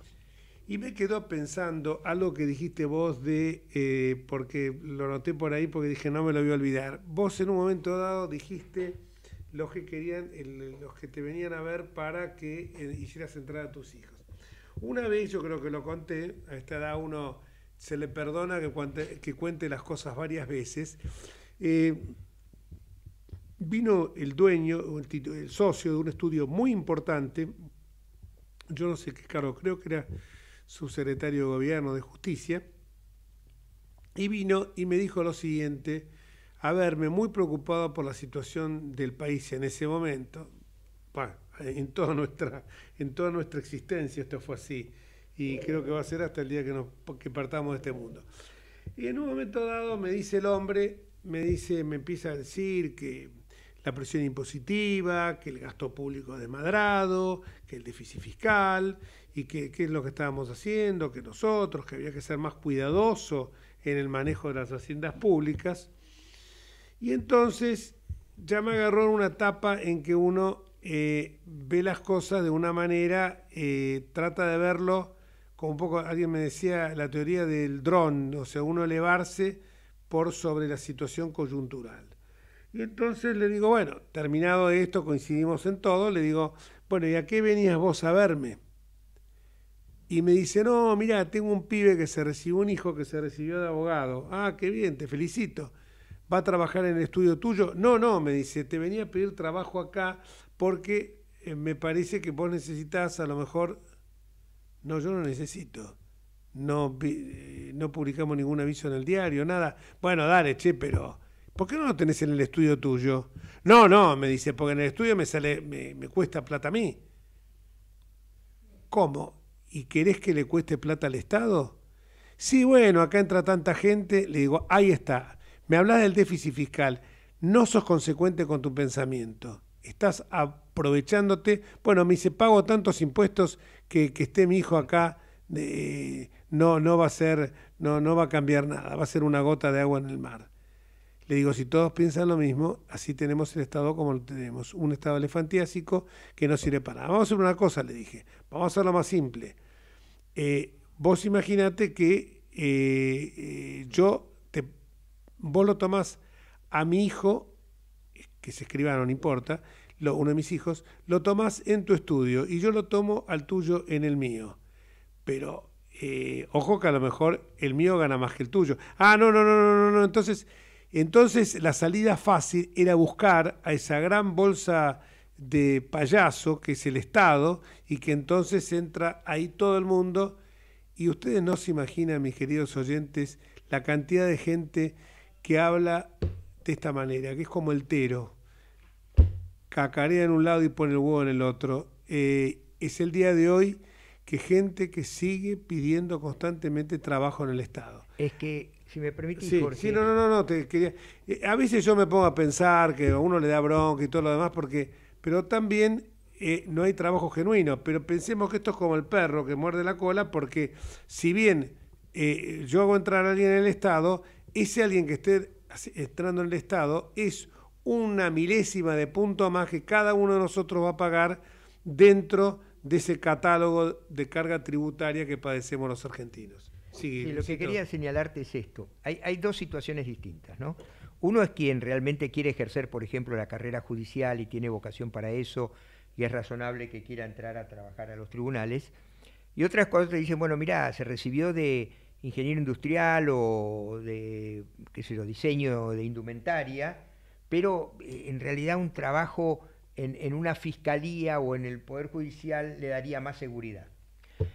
En ese contexto, lo que hay que ver es eh, dónde está la contradicción y por qué no se la piensa la contradicción. Porque está, está aquello del sentido común. En definitiva, es cierto que el, el nuestro es un país con una tremenda contracción económica y que aparentemente la única fuente de empleo estable es el Estado. Es decir, el problema es estructural. Es decir, eh, yo, yo entiendo la lógica de, de quien formula ese pedido, aunque sea contradictorio con su discurso.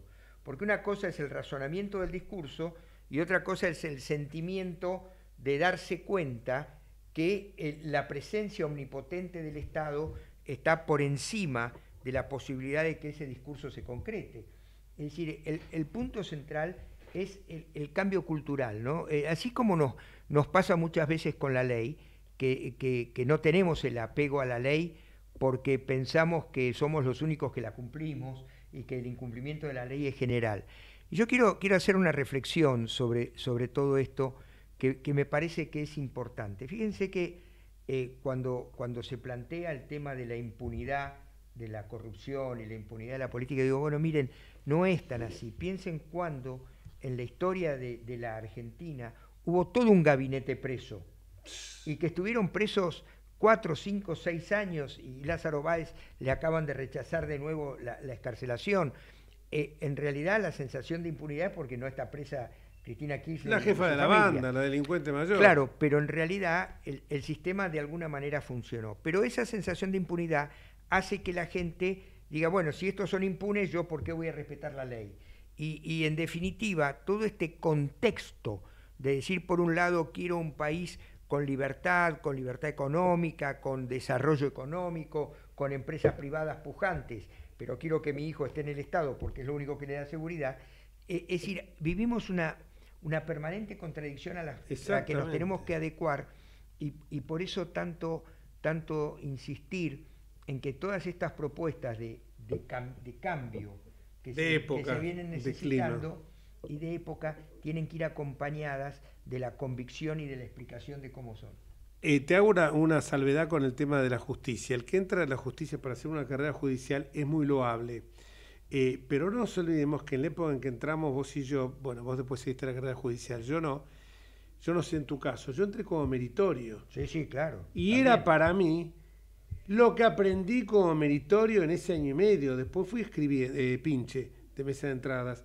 Lo que aprendí, yo procesal 1 y procesal 2, lo di de taquito por la experiencia que tenía. O sea que lo- cuando yo veía en los libros era como si hubiera sido un estudiante de medicina que lo hubiera puesto en un quirófano apenas entró en la... Es distinto esto, porque el otro es, no, mira, un complemento para que no, sea- no me sea tan gravoso eh, eh, el- los- le- le- le- entonces yo te lo tiene que pagar el Estado. Esa es la mentalidad que a veces es como cuando te dicen eh, ver, ver cómo zafo de una multa de tránsito, ver cómo me la podés rebuscar para que esto... No, flaco, el problema más grave que tenemos nosotros es que somos, como nos definió Nino hace ya más de eh, 40 años, un país al margen de la ley. Un país donde la ley no es una vara rígida. Una, la ley puede ser una vara rígida para mí, pero la señora, a la jefa de la banda, es una vara absolutamente flexible. Entonces, el día que no, en que no entendemos esto, no, no, no, no vamos a poder ir para adelante. Dura lex, sed lex. Exactamente. Los eh, romanos con ese laconismo que tenían lo expresaban muy claramente, como le explicó Cayo Julio Luis Sebasco. y nos vamos hasta el próximo miércoles, si Dios quiere, con entre ustedes y nosotros, y quedaron dos temitas pendientes, deberes para el doctor, nuestro querido ex fiscal general jubilado, que lo hacemos trabajar, y mucho, y aparte no, jubilado no, porque sigue en con su estudio, que era el tema de Macarón, por el tema del caso famoso y también el tema del cannabis medicinal. Chau. Hasta el miércoles si Dios quiere.